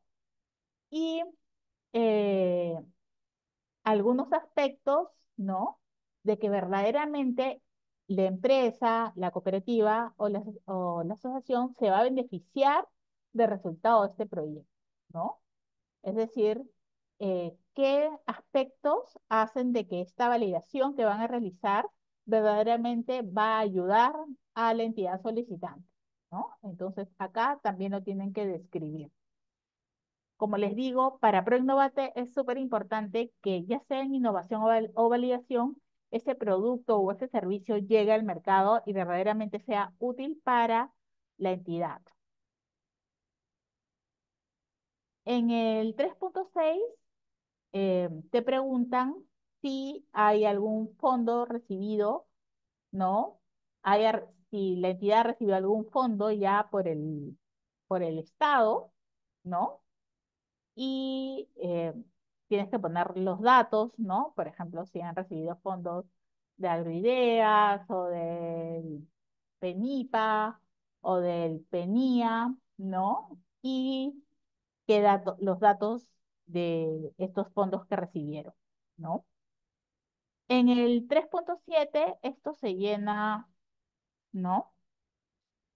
Em, en algunos casos, cuando RUG ya está definido, ¿no? Si es una empresa que ya ha tenido proyectos por nosotros, esto se llena, ¿no? Sale qué proyectos ya han sido financiados por nosotros, ¿no? Y eh, si por a veces motivos no sale, ustedes lo tienen que llenar, ¿no?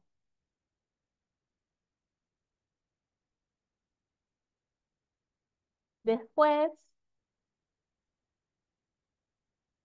em, la situación de los proyectos financiados por ProInnovate, ¿no? Acá es donde el buscador, si no hay ningún proyecto, no se, no se aprecia, ¿no? No se va a ver. Y acá te piden que si la propuesta que ustedes están postulando para validación, ¿no? Ha sido desarrollado por ProInnova, ¿no? Y de ser así, eh, hay que identificarlo, ¿no? Eh, esta parte es importante porque si nos interesa saber si esta es la continuación de un proyecto de nosotros o no, ¿no? Para saber si hay una continuidad de la entidad. Todo lo primera, el A.3 es sobre la entidad solicitante. Ahora viene sobre las entidades asociadas, ¿no? Entonces, si tienen una o más entidades asociadas, estas van a aparecer una debajo de, de la otra, porque han llenado arriba cuáles son sus entidades asociadas, y lo que tienen que llenar es igual. ¿Cuáles son las actividades de estas entidades asociadas en términos de infraestructura, equipos, de transferencia tecnológica, por qué es importante la participación de estas entidades asociadas, ¿no? E, eso es clave en el proceso de evaluación, entender por qué la entidad solicitante se une a estas entidades asociadas, cómo le van a ayudar en el proyecto y eh, cuál es la infraestructura de estas entidades asociadas, ¿ok? Y ahí se termina la la primera sección de validación. De ahí vamos a la segunda sección de validación, que es la sección de mercado, ¿no? Es decir, como ya mencioné, nosotros es muy importante que esta validación que ustedes están presentando salga al mercado, tenga clientes, ¿no? Entonces, en toda esta sección te preguntan todo lo relacionado al mercado del producto, ¿no? Eh, qué sector y tendencias, ¿no? Eh, si el prototipo ha, se, ha, obtenido mediante un proyecto financiado por FinFit o Innovate Perú, se puede adjuntar el estudio de mercado. Igual acá te piden que identifiques a los competidores, ¿no? Con nombre y apellido, quiénes son los, los competidores de este prototipo, de este servicio que tú, está, que tú estás a punto de validar, ¿no? Tienes que poner tus competidores y igual que en innovación, ¿qué atributos, ¿no? ¿Qué atributos tienes en el mercado, tiene tu prototipo que vas a validar que no está en el mercado, ¿no? Acá ya hemos hablado que esto, esta parte es esencial para que se vea la, por, qué es, eh, por qué es necesario validar este producto o este servicio, ¿no? Ya hemos hablado de los atributos que puede tener, ¿no? Por ejemplo, un atributo económico es el precio, ¿no? Es un económico, ¿no? Por ejemplo, mi producto actual cuesta 20 soles, ¿no? Y eh, de mi primer competidor cuesta 50, el otro cuesta 80, ¿no? El otro cuesta 40, ¿no? Pero yo este, con esta validación voy a poder disminuir los costos hasta 30, ¿no? Entonces ya es un atributo, ay, perdón, un atributo diferenciador, ¿no? Menor de lo que yo tengo actualmente. ¿Ya? Ese es un atributo económico, por ejemplo, ¿no? Pero otro atributo puede ser un atributo de, este,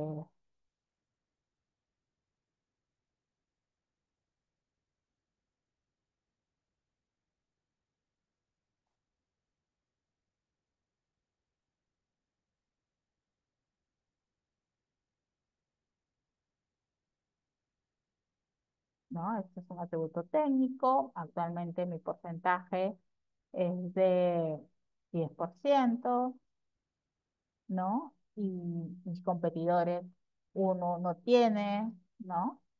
El otro tiene solo 2%. Y el otro sí tiene 12% y el otro tiene 5%, pero yo voy a aumentar mi porcentaje de antocianinas a un 15%, ¿ok? En, en, el, en la validación de mi producto.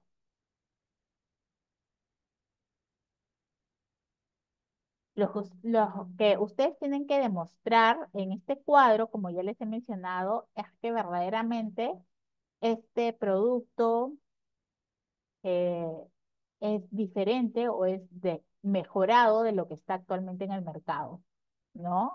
Puede ser un producto, puede ser una máquina, puede ser un software, puede ser este, un, un empaquetado, ¿no? Eh, entonces, pueden ser diferentes tipos de productos que, pero debe tener un atributo diferente, ¿no? A lo que está en el mercado para que pueda ser validado, ¿no?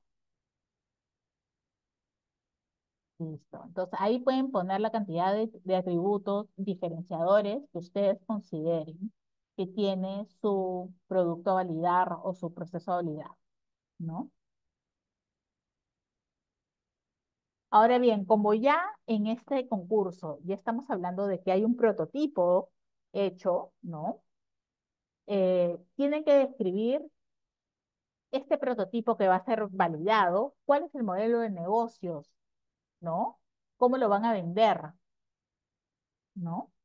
Y acá está, en esta parte, les dan información de lo que tienen que poner, ¿no? ¿Cuál es la propuesta de valor?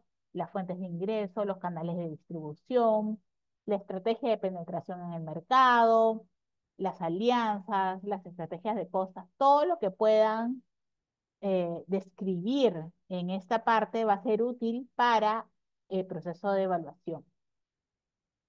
Ahora, si su, si su producto validar, su proceso tiene propiedad intelectual, ¿no?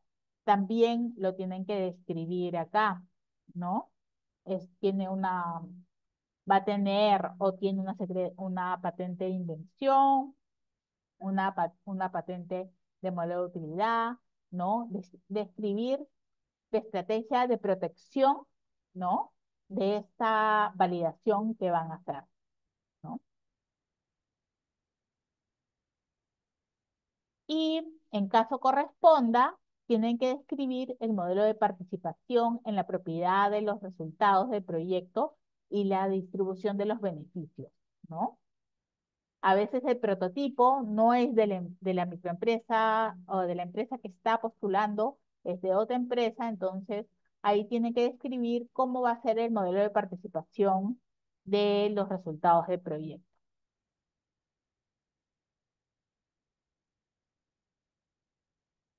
Después tienen que ver la rentabilidad económica y financiera, ¿no? Tienen que asumir los supuestos aplicados y resultados del análisis de rentabilidad, ¿no? A futuro de su posible producto validado, ¿no? Consignar el valor actual, el BAN, el TIR, ¿no? Eh, utilizando supuestos realistas, ¿no? de, para sacar esos números, ¿no? Desde estimación de cantidad de unidades, estimación del precio de venta, estimación de costos fijos, de producción, estimación de costos variables, montos y momentos de inversión, ¿no? Acá hay un modelo de flujo de caja que se descarga, que está en Excel, y hay un video explicativo en cómo llenar ese flujo de caja, ¿no? Y eh, una vez que llenan ese, ese flujo de caja, tomando el video como base, lo cuelgan acá en PDF, ¿ok? Y por último, en esta sección se ve la capacidad y previsiones financieras para el escalamiento de los resultados. Ojo, todavía estamos en prototipo y queremos ajustar este prototipo. Este proyecto todavía no es para escalar, ¿ok? Acá te están preguntando cómo los vas a escalar en el futuro, luego que ya hayas validado tu prototipo. Ahí se acaba la sección B de validación. De ahí viene la memoria técnica, que es ya la parte donde te preguntan de la tecnología en sí de tu producto, ¿no? Eh, te, te preguntan qué tipo de innovación es, ¿no? Si es un nuevo producto, un producto ya existente con características diferentes, un nuevo proceso o un proceso ya existente, ¿no? Y acá tienes que poner sí o no. Normalmente es o, o un producto ya existente con características mejoradas o un proceso ya existente con características diferentes, ¿no? Si es un nuevo producto completamente nuevo, es una innovación disruptiva y si un nuevo proceso también, ¿no? Y eso después lo tienen que fundamentar en, en los siguientes puntos del formulario, ¿no? Acá, a la hora que les piden describir la innovación, ¿no? En qué consiste la innovación y cómo soluciona el problema que ha identificado y la oportunidad de mercado. Y tienen que indicar el nivel del alcance de la novedad de la, innovación, ¿no? Si esta innovación es está este producto que van a validar es a nivel de empresa, es a nivel local, nacional o internacional, ¿ok?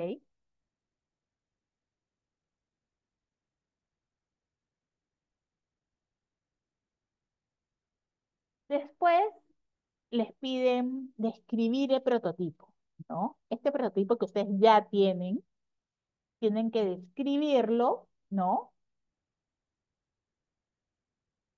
Entonces, eh, indicando en qué tecnología se basa o si están utilizando diferentes tipos de tecnología, cuántos años tiene este prototipo, tal vez lo hicieron hace algunos años, lo han tenido guardado, no han tenido eh, recursos económicos para poder validarlo, ¿no? Este, después, eh, si ha tenido pruebas de laboratorio, ¿no?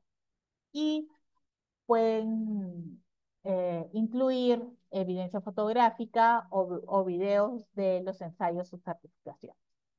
¿Ok? Acá, acá, si tienen videos o fotos de prototipo, es opcional eso, si tiene alguna certificación el prototipo, lo adjuntan acá, ¿no? Lo buscan y lo adjuntan. Todo, todo archivo tiene que ser subido en PDF, ¿ok? Este video y no es opcional, este video es eh, obligatorio, ¿no? En este video eh, tienen que describir y mostrar el prototipo. ¿ok? Tiene que ser un máximo de cinco minutos y, como en el caso de innovación, tiene que ser subido en una plataforma que no tenga contraseña, que sea de uso público, para que los evaluadores puedan verlo y evaluar la existencia del prototipo y sus funcionalidades. ¿Ok? Entonces, acá ponen el link para que eh, ver el prototipo y su funcionalidad. Si el prototipo ha sido adquirido a un tercero, tienen que adjuntar el contrato o el convenio eh, de que ese prototipo ustedes lo pueden utilizar.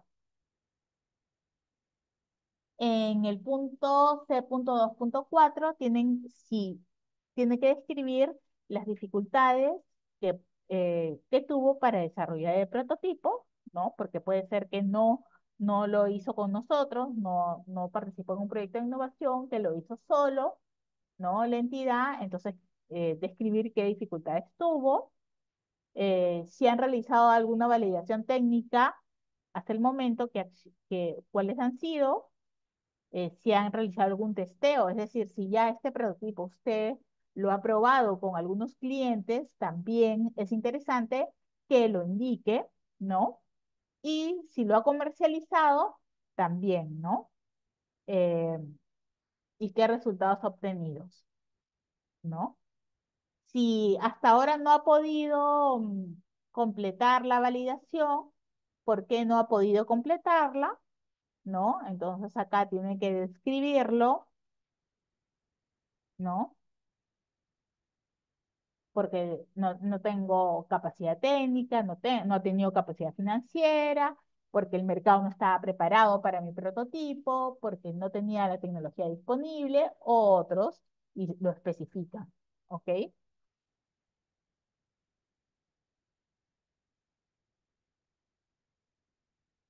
Y por último, eh, tienen que describir los riesgos y desafíos tecnológicos que busca superar a partir de la validación que está proponiendo, ¿no? En el C.3 ya les piden hacer como una revisión bibliográfica de los antecedentes de esta innovación que usted está presentando, ¿no? Es una innovación que ya necesita ser validada. Entonces, tienen que eh, comparar la tecnología y los conocimientos asociados a este prototipo propuesto.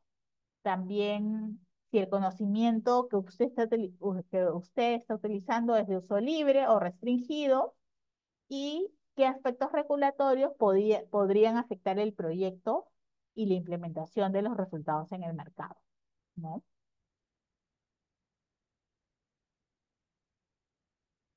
Ahora, en el C.4 viene el cuerpo del proyecto, porque es tu objetivo general, tus objetivos específicos, es decir, tus componentes y qué productos o resultados intermedios vas a, a obtener, ¿no?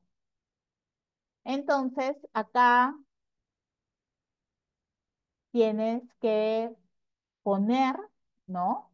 Tu objetivo general, qué es lo que yo quiero con el proyecto, ¿no? Validar, ¿no? El prototipo de humita,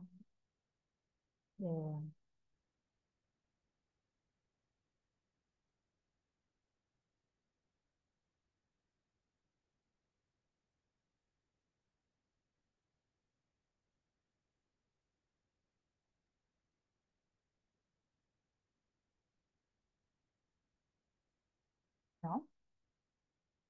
Eh, es, uno tiene que escribir, ¿no?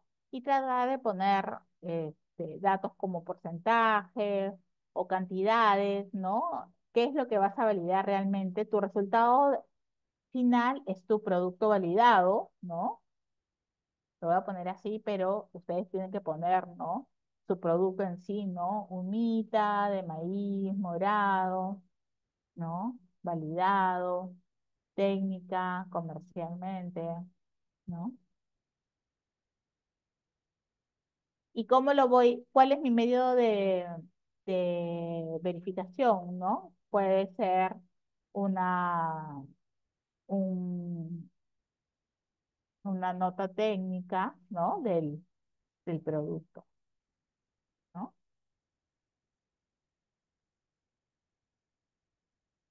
Eh, pueden tener uno, un objetivo general, y acá van a llenar los objetivos específicos, ¿no?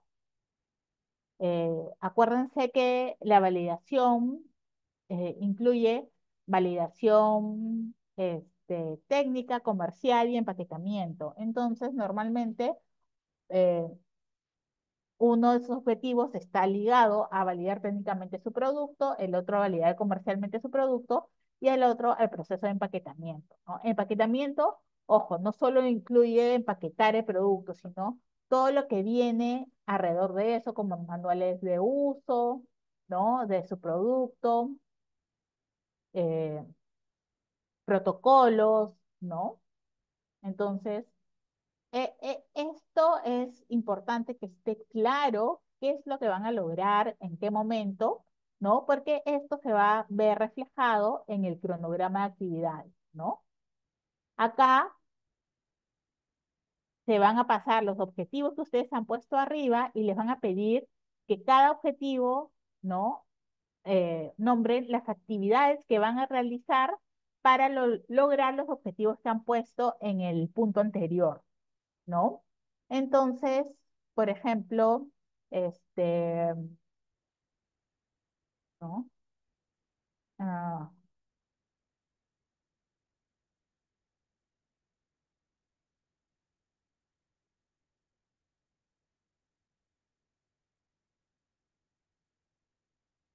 ¿y en qué momento de, de proyecto lo van a hacer?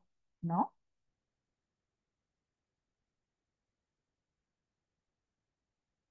Entonces, cada objetivo que ustedes han puesto acá arriba, ¿no? Cada objetivo que ustedes han puesto en el C.42 se va a eh, grabar en, en el C.43 y ustedes tienen que llenar qué actividades van a hacer para cada uno de los objetivos que han puesto, ¿no? Y eso obviamente debe ser claro, debe ser viable eh, y tener, ¿no? Este, que sea, que sea lógico, ¿no? Tener una, una, una función de actividades lógica para lograr cada uno de esos objetivos. Este último componente de gestión y cierre del proyecto es un componente que ya está dentro del formulario porque es un componente que está ligado a nosotros, las cosas que nosotros, ProInnovate, necesitamos del proyecto, ¿no? Y es el último componente que, eh, donde pedimos que haya un evento de difusión de los resultados del concurso, ¿no? Un informe de lecciones aprendidas, eh, si hay formulación del proyecto, se pone, estas partes son opcionales, y también si hay tesistas, también opcionales, ¿no? Entonces, acá ustedes pueden eh, definir cuándo van a presentar, ¿no? Eh, los informes, y si es opcional, ¿no? Eh, ponen cantidad cero acá, ¿no? No lo llenan simplemente porque es opcional. Ahora bien, en el punto C.5 te piden describir la metodología. Es decir, ¿qué, metodología, qué diseño experimental, qué sistemas o técnicas vas a utilizar para poder lograr tu validación, ¿no? Entonces, te van a pedir un plan metodológico eh, en relación a las actividades que has puesto arriba y acá es solo describir, pero si tú tienes gráficos de cómo va a ser tu plan, ¿no? O mapas conceptuales, tú lo puedes adjuntar acá, ¿no? Que es un archivo obligatorio para eh, ampliar tu, tu plan metodológico, ¿ok? Después te piden los impactos esperados, ¿no? Impactos económicos, sociales o otro tipo de impacto de tu proyecto. Y acá en el C.7 te piden la presentación del equipo técnico, ¿no? Es decir, quiénes van a formar parte de tu proyecto, ¿no? Acá sí te piden con documento de identidad, tu género, ¿no? Tu especialidad, eh, cuánto le vas a dedicar al proyecto. Acá ya el coordinador general no va a aparecer porque eh, está en el punto A, punto 1, punto B, ¿no? Acá tienes que poner los otros recursos que van a, ¿no? Por ejemplo, ahí hay dos personas grabadas ya. Entonces, voy a poner uno más, ¿no?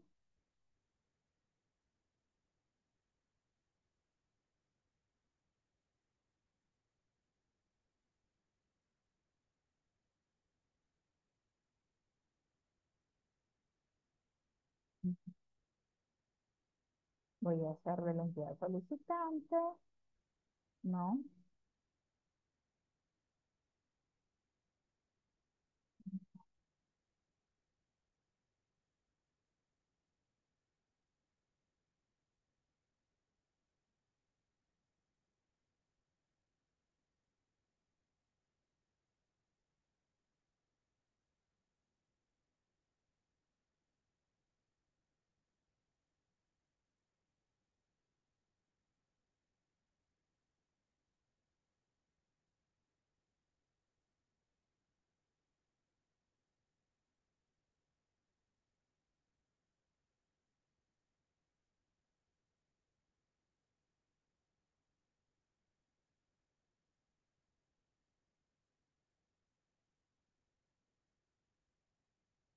Y grabo. Ujú.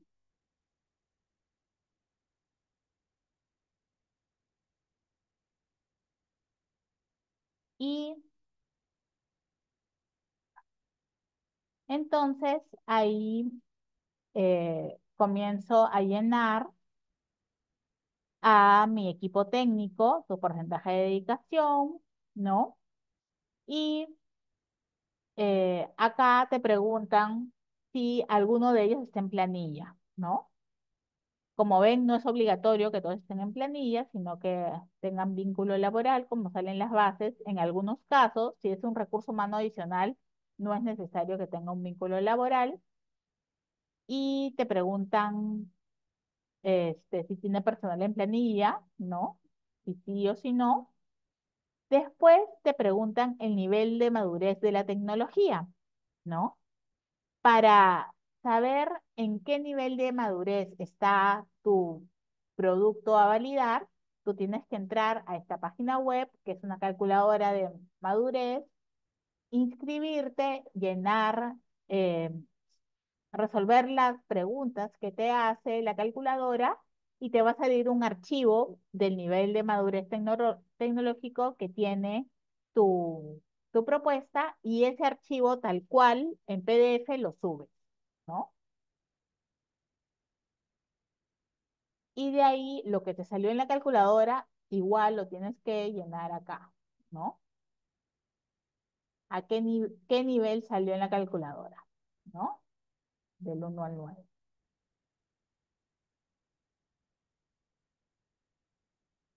Después te preguntan si tu propuesta desarrolla una innovación sostenible ambientalmente, ¿no?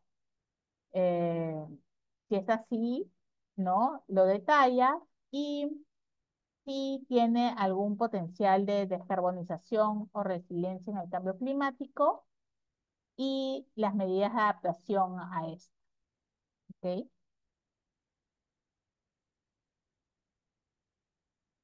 En la sección D es la sección de presupuesto, ¿no? Esta sección de presupuesto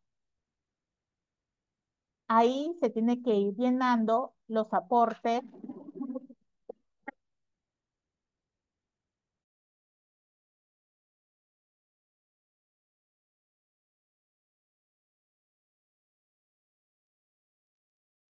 los aportes de cada uno de los diferentes partidas que hay en el presupuesto. Es decir, si van a comprar equipos, debe ser un máximo del 25% del proyecto.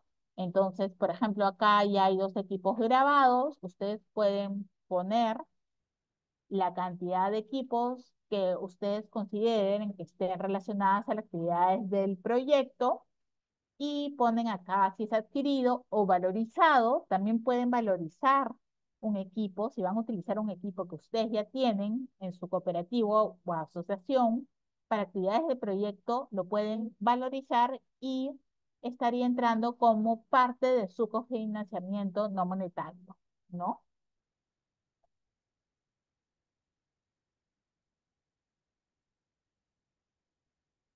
Una mezcladora, ¿no?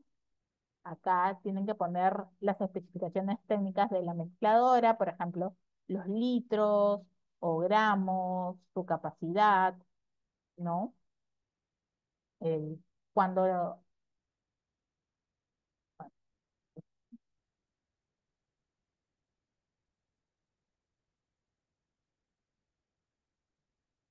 cuánto tiempo lo van a utilizar, por ejemplo,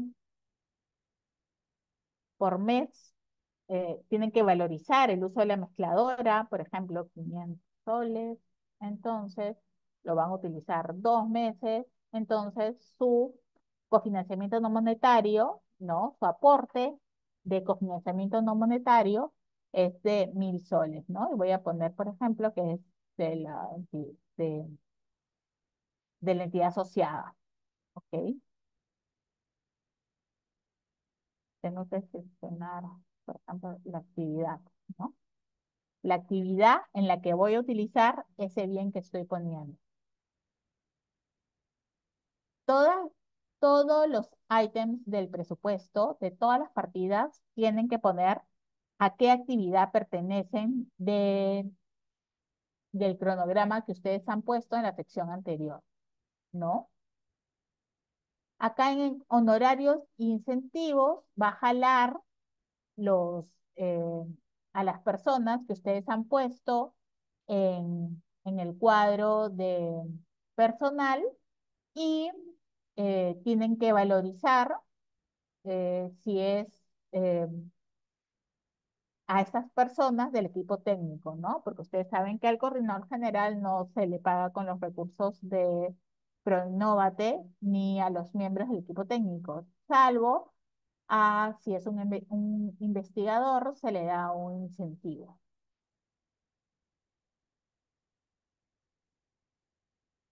Acá, en el cuadro 5, tienen que describir qué consultorías van a necesitar, si las van a necesitar, para las actividades de su proyecto. Igual apretan el más que está al costado de la partida, ¿no? Eh, describen la consultoría, ¿no? El costo de esta, por ejemplo, 15 mil soles, ¿no? Voy a necesitar una, ¿no? Y esta va a ser de la entidad, ¿no? Acá siempre el sistema mismo eh, separa el monto, el IGB, porque el IGB es un gasto eh, que no se puede pagar con los recursos de ProInnova. Es un gasto monetario que tiene que, poner la entidad, ¿ok? Y de ahí, eh, ¿para qué actividad, no? Tienen que decir para qué actividad necesitan esta consultoría.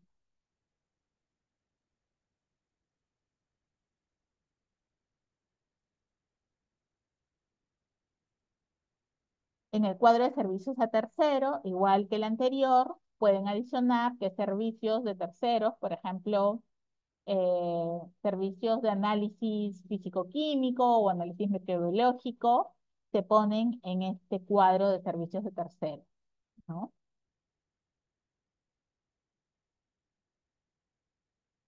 Pero todo su presupuesto debe estar relacionado a las actividades que ustedes han puesto en el cronograma de actividades y estas actividades deben estar relacionadas a los objetivos que ustedes han determinado en su propuesta, ¿no?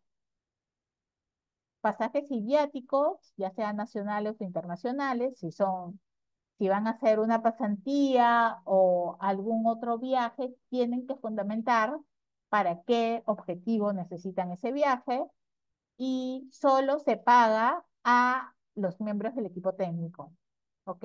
No a los consultores, las consultorías son a costo completo, ¿ok? Solo los miembros del equipo técnico se les puede pagar con los recursos no reembolsables. De ahí materiales e insumos y acá en el cuadro 9 tienen que añadir a quién formuló el proyecto, ¿no? Si hay un formulador, tiene que ser puesto en este punto. ¿Ok? Y ahí se termina la sección D, que es de presupuesto. La sección E ya es una sección de donde se adjuntan más que todo temas legales, ¿no? La lista de chequeo de las bases, la declaración jurada del impuesto a la renta, la copia simple de la resolución de fraccionamiento de la deuda coactiva. ¿Ok? Y ahí termina el formulario de validación de la innovación. Vamos a ver un ratito el formulario de cambio climático, que es muy parecido, debe tener algunos cambios solo en la sección C. Eh, vamos a verlo para eh, terminar con con el webinar y, terminar con las preguntas, ¿ya? Un ratito. Voy a buscar el formulario de validación de la innovación cambio climático. Es este.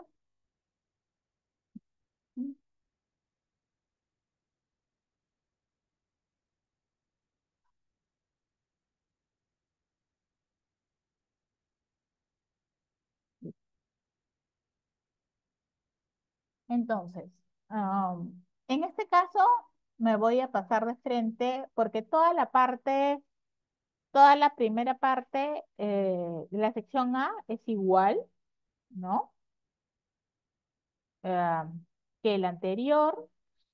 Entiendo que solo la parte C es diferente. Vamos a ver. A ver.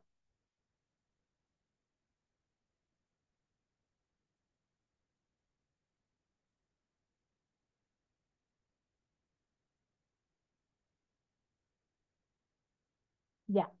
Acá, eh, si bien el otro formulario tiene una parte de cambio climático, acá en aquellas propuestas que estén validando algún producto o servicio relacionado a mitigación de cambio climático, hay más preguntas relacionadas a la pertinencia de la solución propuesta, ¿no? Eh, les hacen elegir igualmente el enfoque, ¿no? Que está relacionado a su proyecto, ¿no? Ya hemos visto que nosotros tenemos estos enfoques y en base a los enfoques, eh, las líneas de acción estamos trabajando, ¿no? Por ejemplo, energía limpia, ¿no? Está el uso eficiente de recursos disponibles, ¿no? Y, ¿no? Por ejemplo, transición. Y acá pueden describir eh, otros proyectos afines a la propuesta que ustedes están implementando. Después, ¿qué problemática específica ha identificado y cómo tu proyecto aporta esa solución? Y por qué es esta solución que vas a validar está sustancialmente mejor a lo que está en el mercado actualmente. Con respecto al potencial de descarbonización y resiliencia al cambio climático, te preguntan sobre las medidas de mitigación, ¿no? Dentro de las NDC, ¿a qué medida de contribución está eh, contribuyendo tu propuesta? A mitigar agricultura, desechos, energía, procesos industriales, o no, o simplemente no aplica, ¿no? Y eh, tiene que detallar el indicador de descarbonización, ¿no? De tu propuesta. ¿A qué indicador de descarbonización está relacionada tu propuesta de cambio climático, ¿no? Y cuáles son las metas esperadas. Con respecto a las medidas de adaptación, también de pregunta eh, relacionados a las NDC, ¿no? ¿Qué medidas de adaptación está relacionado a tu proyecto?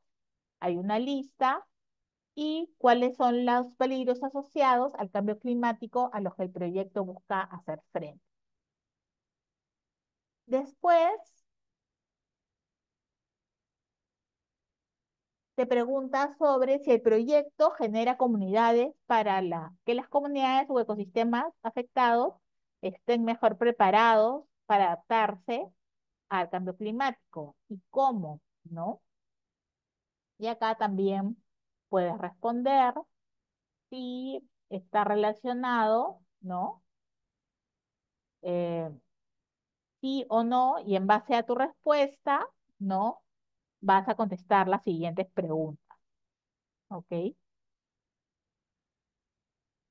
Después te preguntas sobre el enfoque de transición justa, ¿no?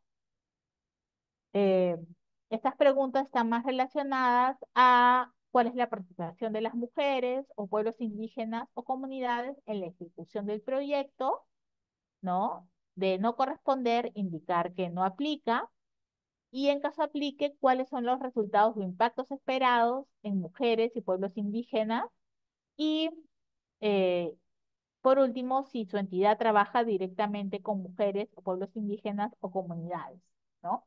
Y cuál es su nivel de participación. ¿Ok? Entonces, eh, ahí terminaría esta parte de cambio climático, que es la parte del formulario que es diferente al concurso de validación tradicional, De ahí todas las demás secciones del presupuesto y adjuntos, ¿no? Son iguales al formulario anterior. ¿Ok? Eh, no sé si hay eh, alguna consulta. Sí, Vane, sí, sí, hay algunas consultas. Igual que en- en- hace un momento. Eh, vamos primero con las que son dirigidas a las bases y de ahí te voy diciendo las que están dirigidas específicamente al formulario. Eh, consulta, he desarrollado una bebida nutricional, si ya tengo un prototipo del cual he generado un poco de ingresos o algo de ingresos en el 2023, ¿puedo postular para estandarizar el proceso? es decir, mejorar la calidad y características de mi producto final. Sí, si tú vas a hacer ajustes, ajustes a tu prototipo y estas, eh, estos ajustes que quieres hacer representan un riesgo, hay algo nuevo o mejorado, este, sí puedes participar. Ok. eh, en el caso de una microempresa, casi siempre es el titular, el gerente, eh. El, el coordinador del proyecto y a su vez coordinador administrativo. ¿Puede ser el mismo? Mm, no, creo que el coordinador, a ver, déjame ver las bases un ratito, pero creo que como representante legal sí puede ser coordinador general, pero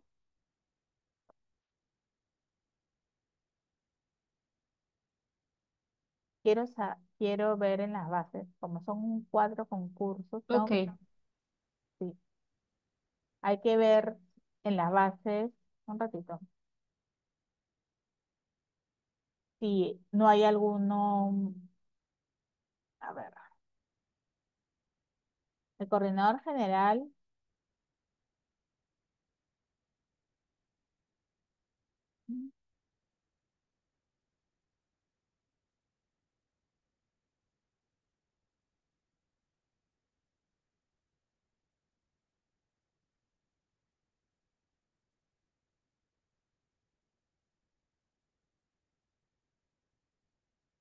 mm, ya, pero el coordinador administrativo debe contar con experiencia en administración, ¿no?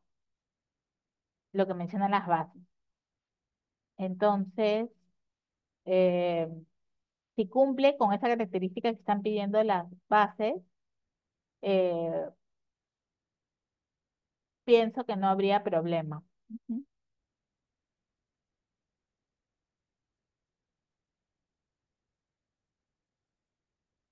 ¿Aló?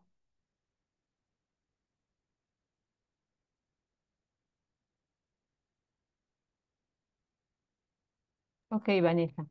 Em, esta consulta es referida a los ingresos re- eh, registrados en SUNAT. Si una empresa o asociación no tiene ingresos y ha estado registrada en la SUNAT por más de uno o dos años, tiene menos probabilidad de ganar el fondo en comparación con otra empresa que sí ha declarado movimientos en la SUNAT. El nivel de ventas, Sí, o sea, eh, una empresa que no ha podido declarar porque no ha tenido ventas respecto de otra que sí ha registrado movimiento en la SUNAT. bueno, es parte de la evaluación del concurso. Ya, ok. Eh, eh, otra consulta es, ¿puede una Acuérdense, empresa? Dime, dime, dime, adelante. no, que se acuerden que esto es un concurso, ¿no? O sea, dentro de todo es un concurso. O sea, no es que ustedes postulan y reciben los recursos, sino es un concurso que tiene unos criterios que están en las bases y que se evalúa, ¿no? Entonces, eh, es parte del proceso de evaluación. Ya. Otra consulta es eh, si el concurso, consultan si el concurso está más orientado a la producción de manufacturas o productos finales, es decir, terminados. A ver, validación es un prototipo, ¿no? Un prototipo que ya, que, es decir, ya ha pasado por el proceso de innovación y ya tienes un prototipo, un producto mínimo viable y ese, ese lo quieres ajustar, ¿no? Puede ser de un sector de manufactura, agropecuario, textil, ¿no? Pero ya debe ser, para este concurso de validación ya debes tener un prototipo. Ok. Eh, respecto de que ya e- el fondo de Proinnovate sea otorgado, consultan cómo se efectúan los RNR como depósito directo hacia las empresas solicitantes o hacen el pago a las entidades terciarias. No, eh, una vez que se pasa por todos los procesos de evaluación de ProInnovate y se llega a la firma, a la reunión previa, eh, el proyecto se divide en hitos, ¿no? En hitos donde la empresa tiene que ir presentando los avances de su proyecto, ¿no? Y en cada hito, en cada hito se, se mm, deposita una cantidad de dinero. El, por ejemplo, si en, el, en el primer hito eh, Proinnova te deposita el 50% del proyecto, la empresa tiene que depositar el 50% de su cofinanciamiento a una cuenta específica del proyecto que abre la entidad solicitante, ¿no? Entonces, eh, todo es conjunto, ¿no? Y se va, se da, lo, el aporte es, una enti- es en una cuenta de la entidad solicitante. Ok. Vanessa, esto es en cuanto a uno de los campos del formulario. En caso no tener una entidad con la cual nos vayamos a asociar, ¿qué se coloca en esa sección? Obviamente, si no hay, No mm, aplica. no se aplica, ¿no? Claro. Sí, pueden ir. No es necesario que vayan con una entidad asociada. ok.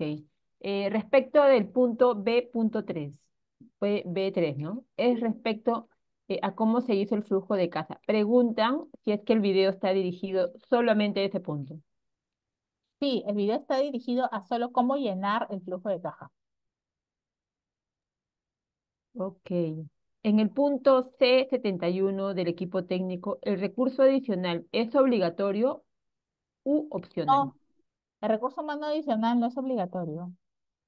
Es, depende. ¿eh? El recurso humano adicional es una persona que no forma parte del, de, ni de la entidad solicitante ni de las entidades asociadas, pero tú crees que es importante para el proyecto, ¿no? Que va a tener una labor que no la puede cumplir ningún otro personal del de las entidades y que tú lo necesitas para eh, las actividades de proyecto, ¿no? Y no es obligatorio.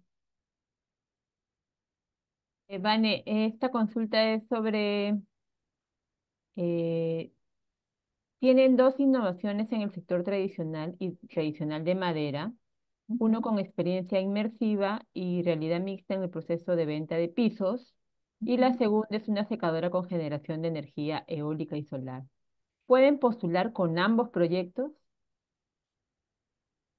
Pueden postular con ambos proyectos, sí, pero acuérdense que solo, o sea, si logran pasar, los, o sea, lo, como son dos productos completamente diferentes, serían dos postulaciones diferentes, pero al final, si logran pasar todas las evaluaciones, solo se financia uno de los proyectos.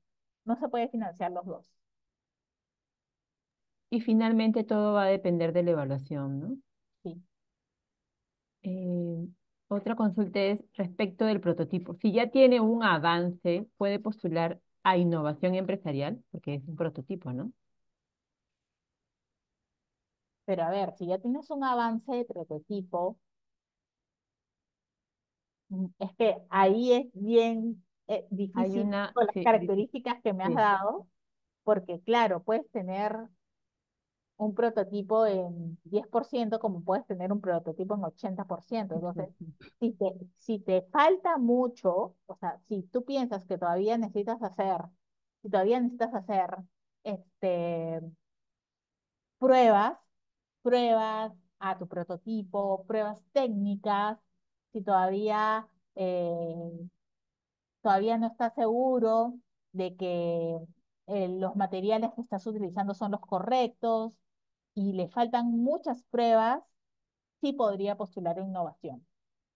Si ya tu prototipo está avanzado y solo necesitas ajustes mínimos, sería validación. Vale, esta persona o esta entidad solicitante postuló el año pasado a cambio climático. Obviamente no, no ganó, pero consulta si puede postular a innovación empresarial. No hay restricciones respecto de eso, No, de no haber no, sido elegido no, previamente. no, no, no, sí, sí, postuló el año pasado y no logró los fondos y quiere postular ahora, no hay ningún problema. La consulta muy parecida a la, a la- cuando explicaste innovación empresarial, eh, dicen, ¿no? Si postula innovación empresarial y validación, obviamente le van a financiar solo uno, ¿no? Exacto. Solamente le van a financiar uno, porque son, son concursos eh, del mismo componente, ¿no? Ok, Vanessa, ah, ¿podrías dar, están pidiendo una explicación respecto del pago a los trabajadores de- del equipo, ¿no? Del proyecto? Ujú. A ver, en, en las bases está definido eh, los recursos, por ejemplo, el coordinador general no lo paga eh, proyecto. El coordinador general es un, es un recurso humano que da el proyecto, que es valorizado por el proyecto, ¿no? Entonces, eh, es igual los recursos humanos de la entidad eh, solicitante o asociada, ¿no? Son personas valorizadas, ¿no? Es parte del aporte no monetario que da las entidad, la entidad solicitante o la entidad asociada. No son pagados por el proyecto, ¿no?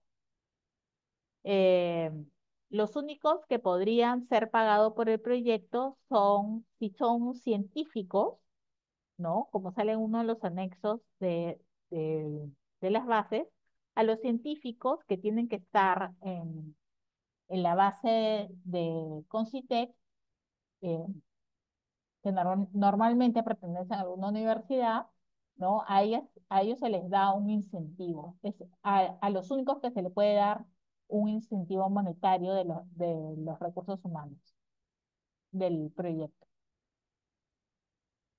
Ok. Ah, otra consulta, y creo que es la última. Si el coordinador tiene experiencia en administrar los fondos, ¿puede asumir al mismo tiempo esta tarea? De coordinador general y coordinador administrativo. Sí, claro. Miren, yo no he con- encontrado en las bases que digan lo contrario, ¿no? Eh, Así que mm, sería bueno igual que puedan mandar un correo al correo de validación, pero en las bases no he podido encontrar que no, no se pueda.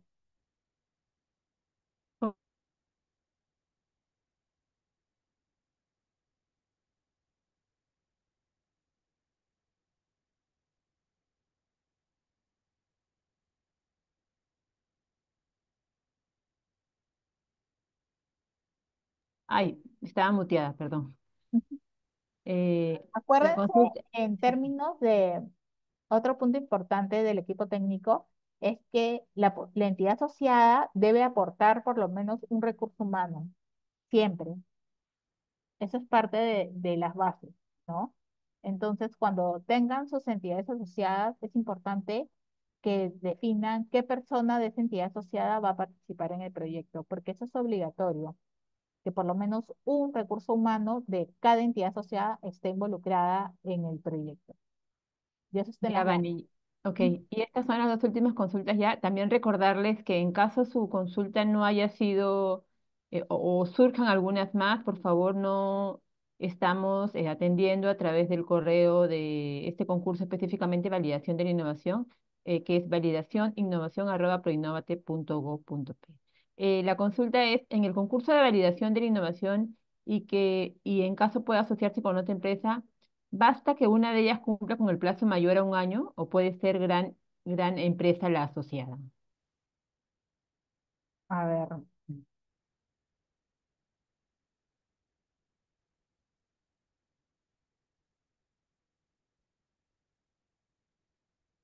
en, en validación, ¿no es cierto?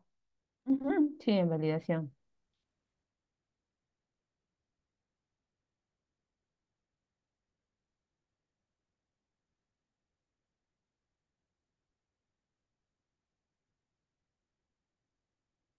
A ver, dice,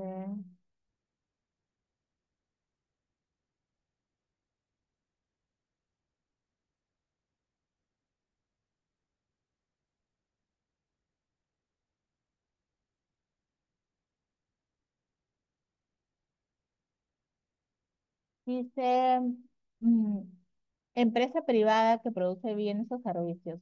No dice qué tipo de empresa puede ser. Ujú.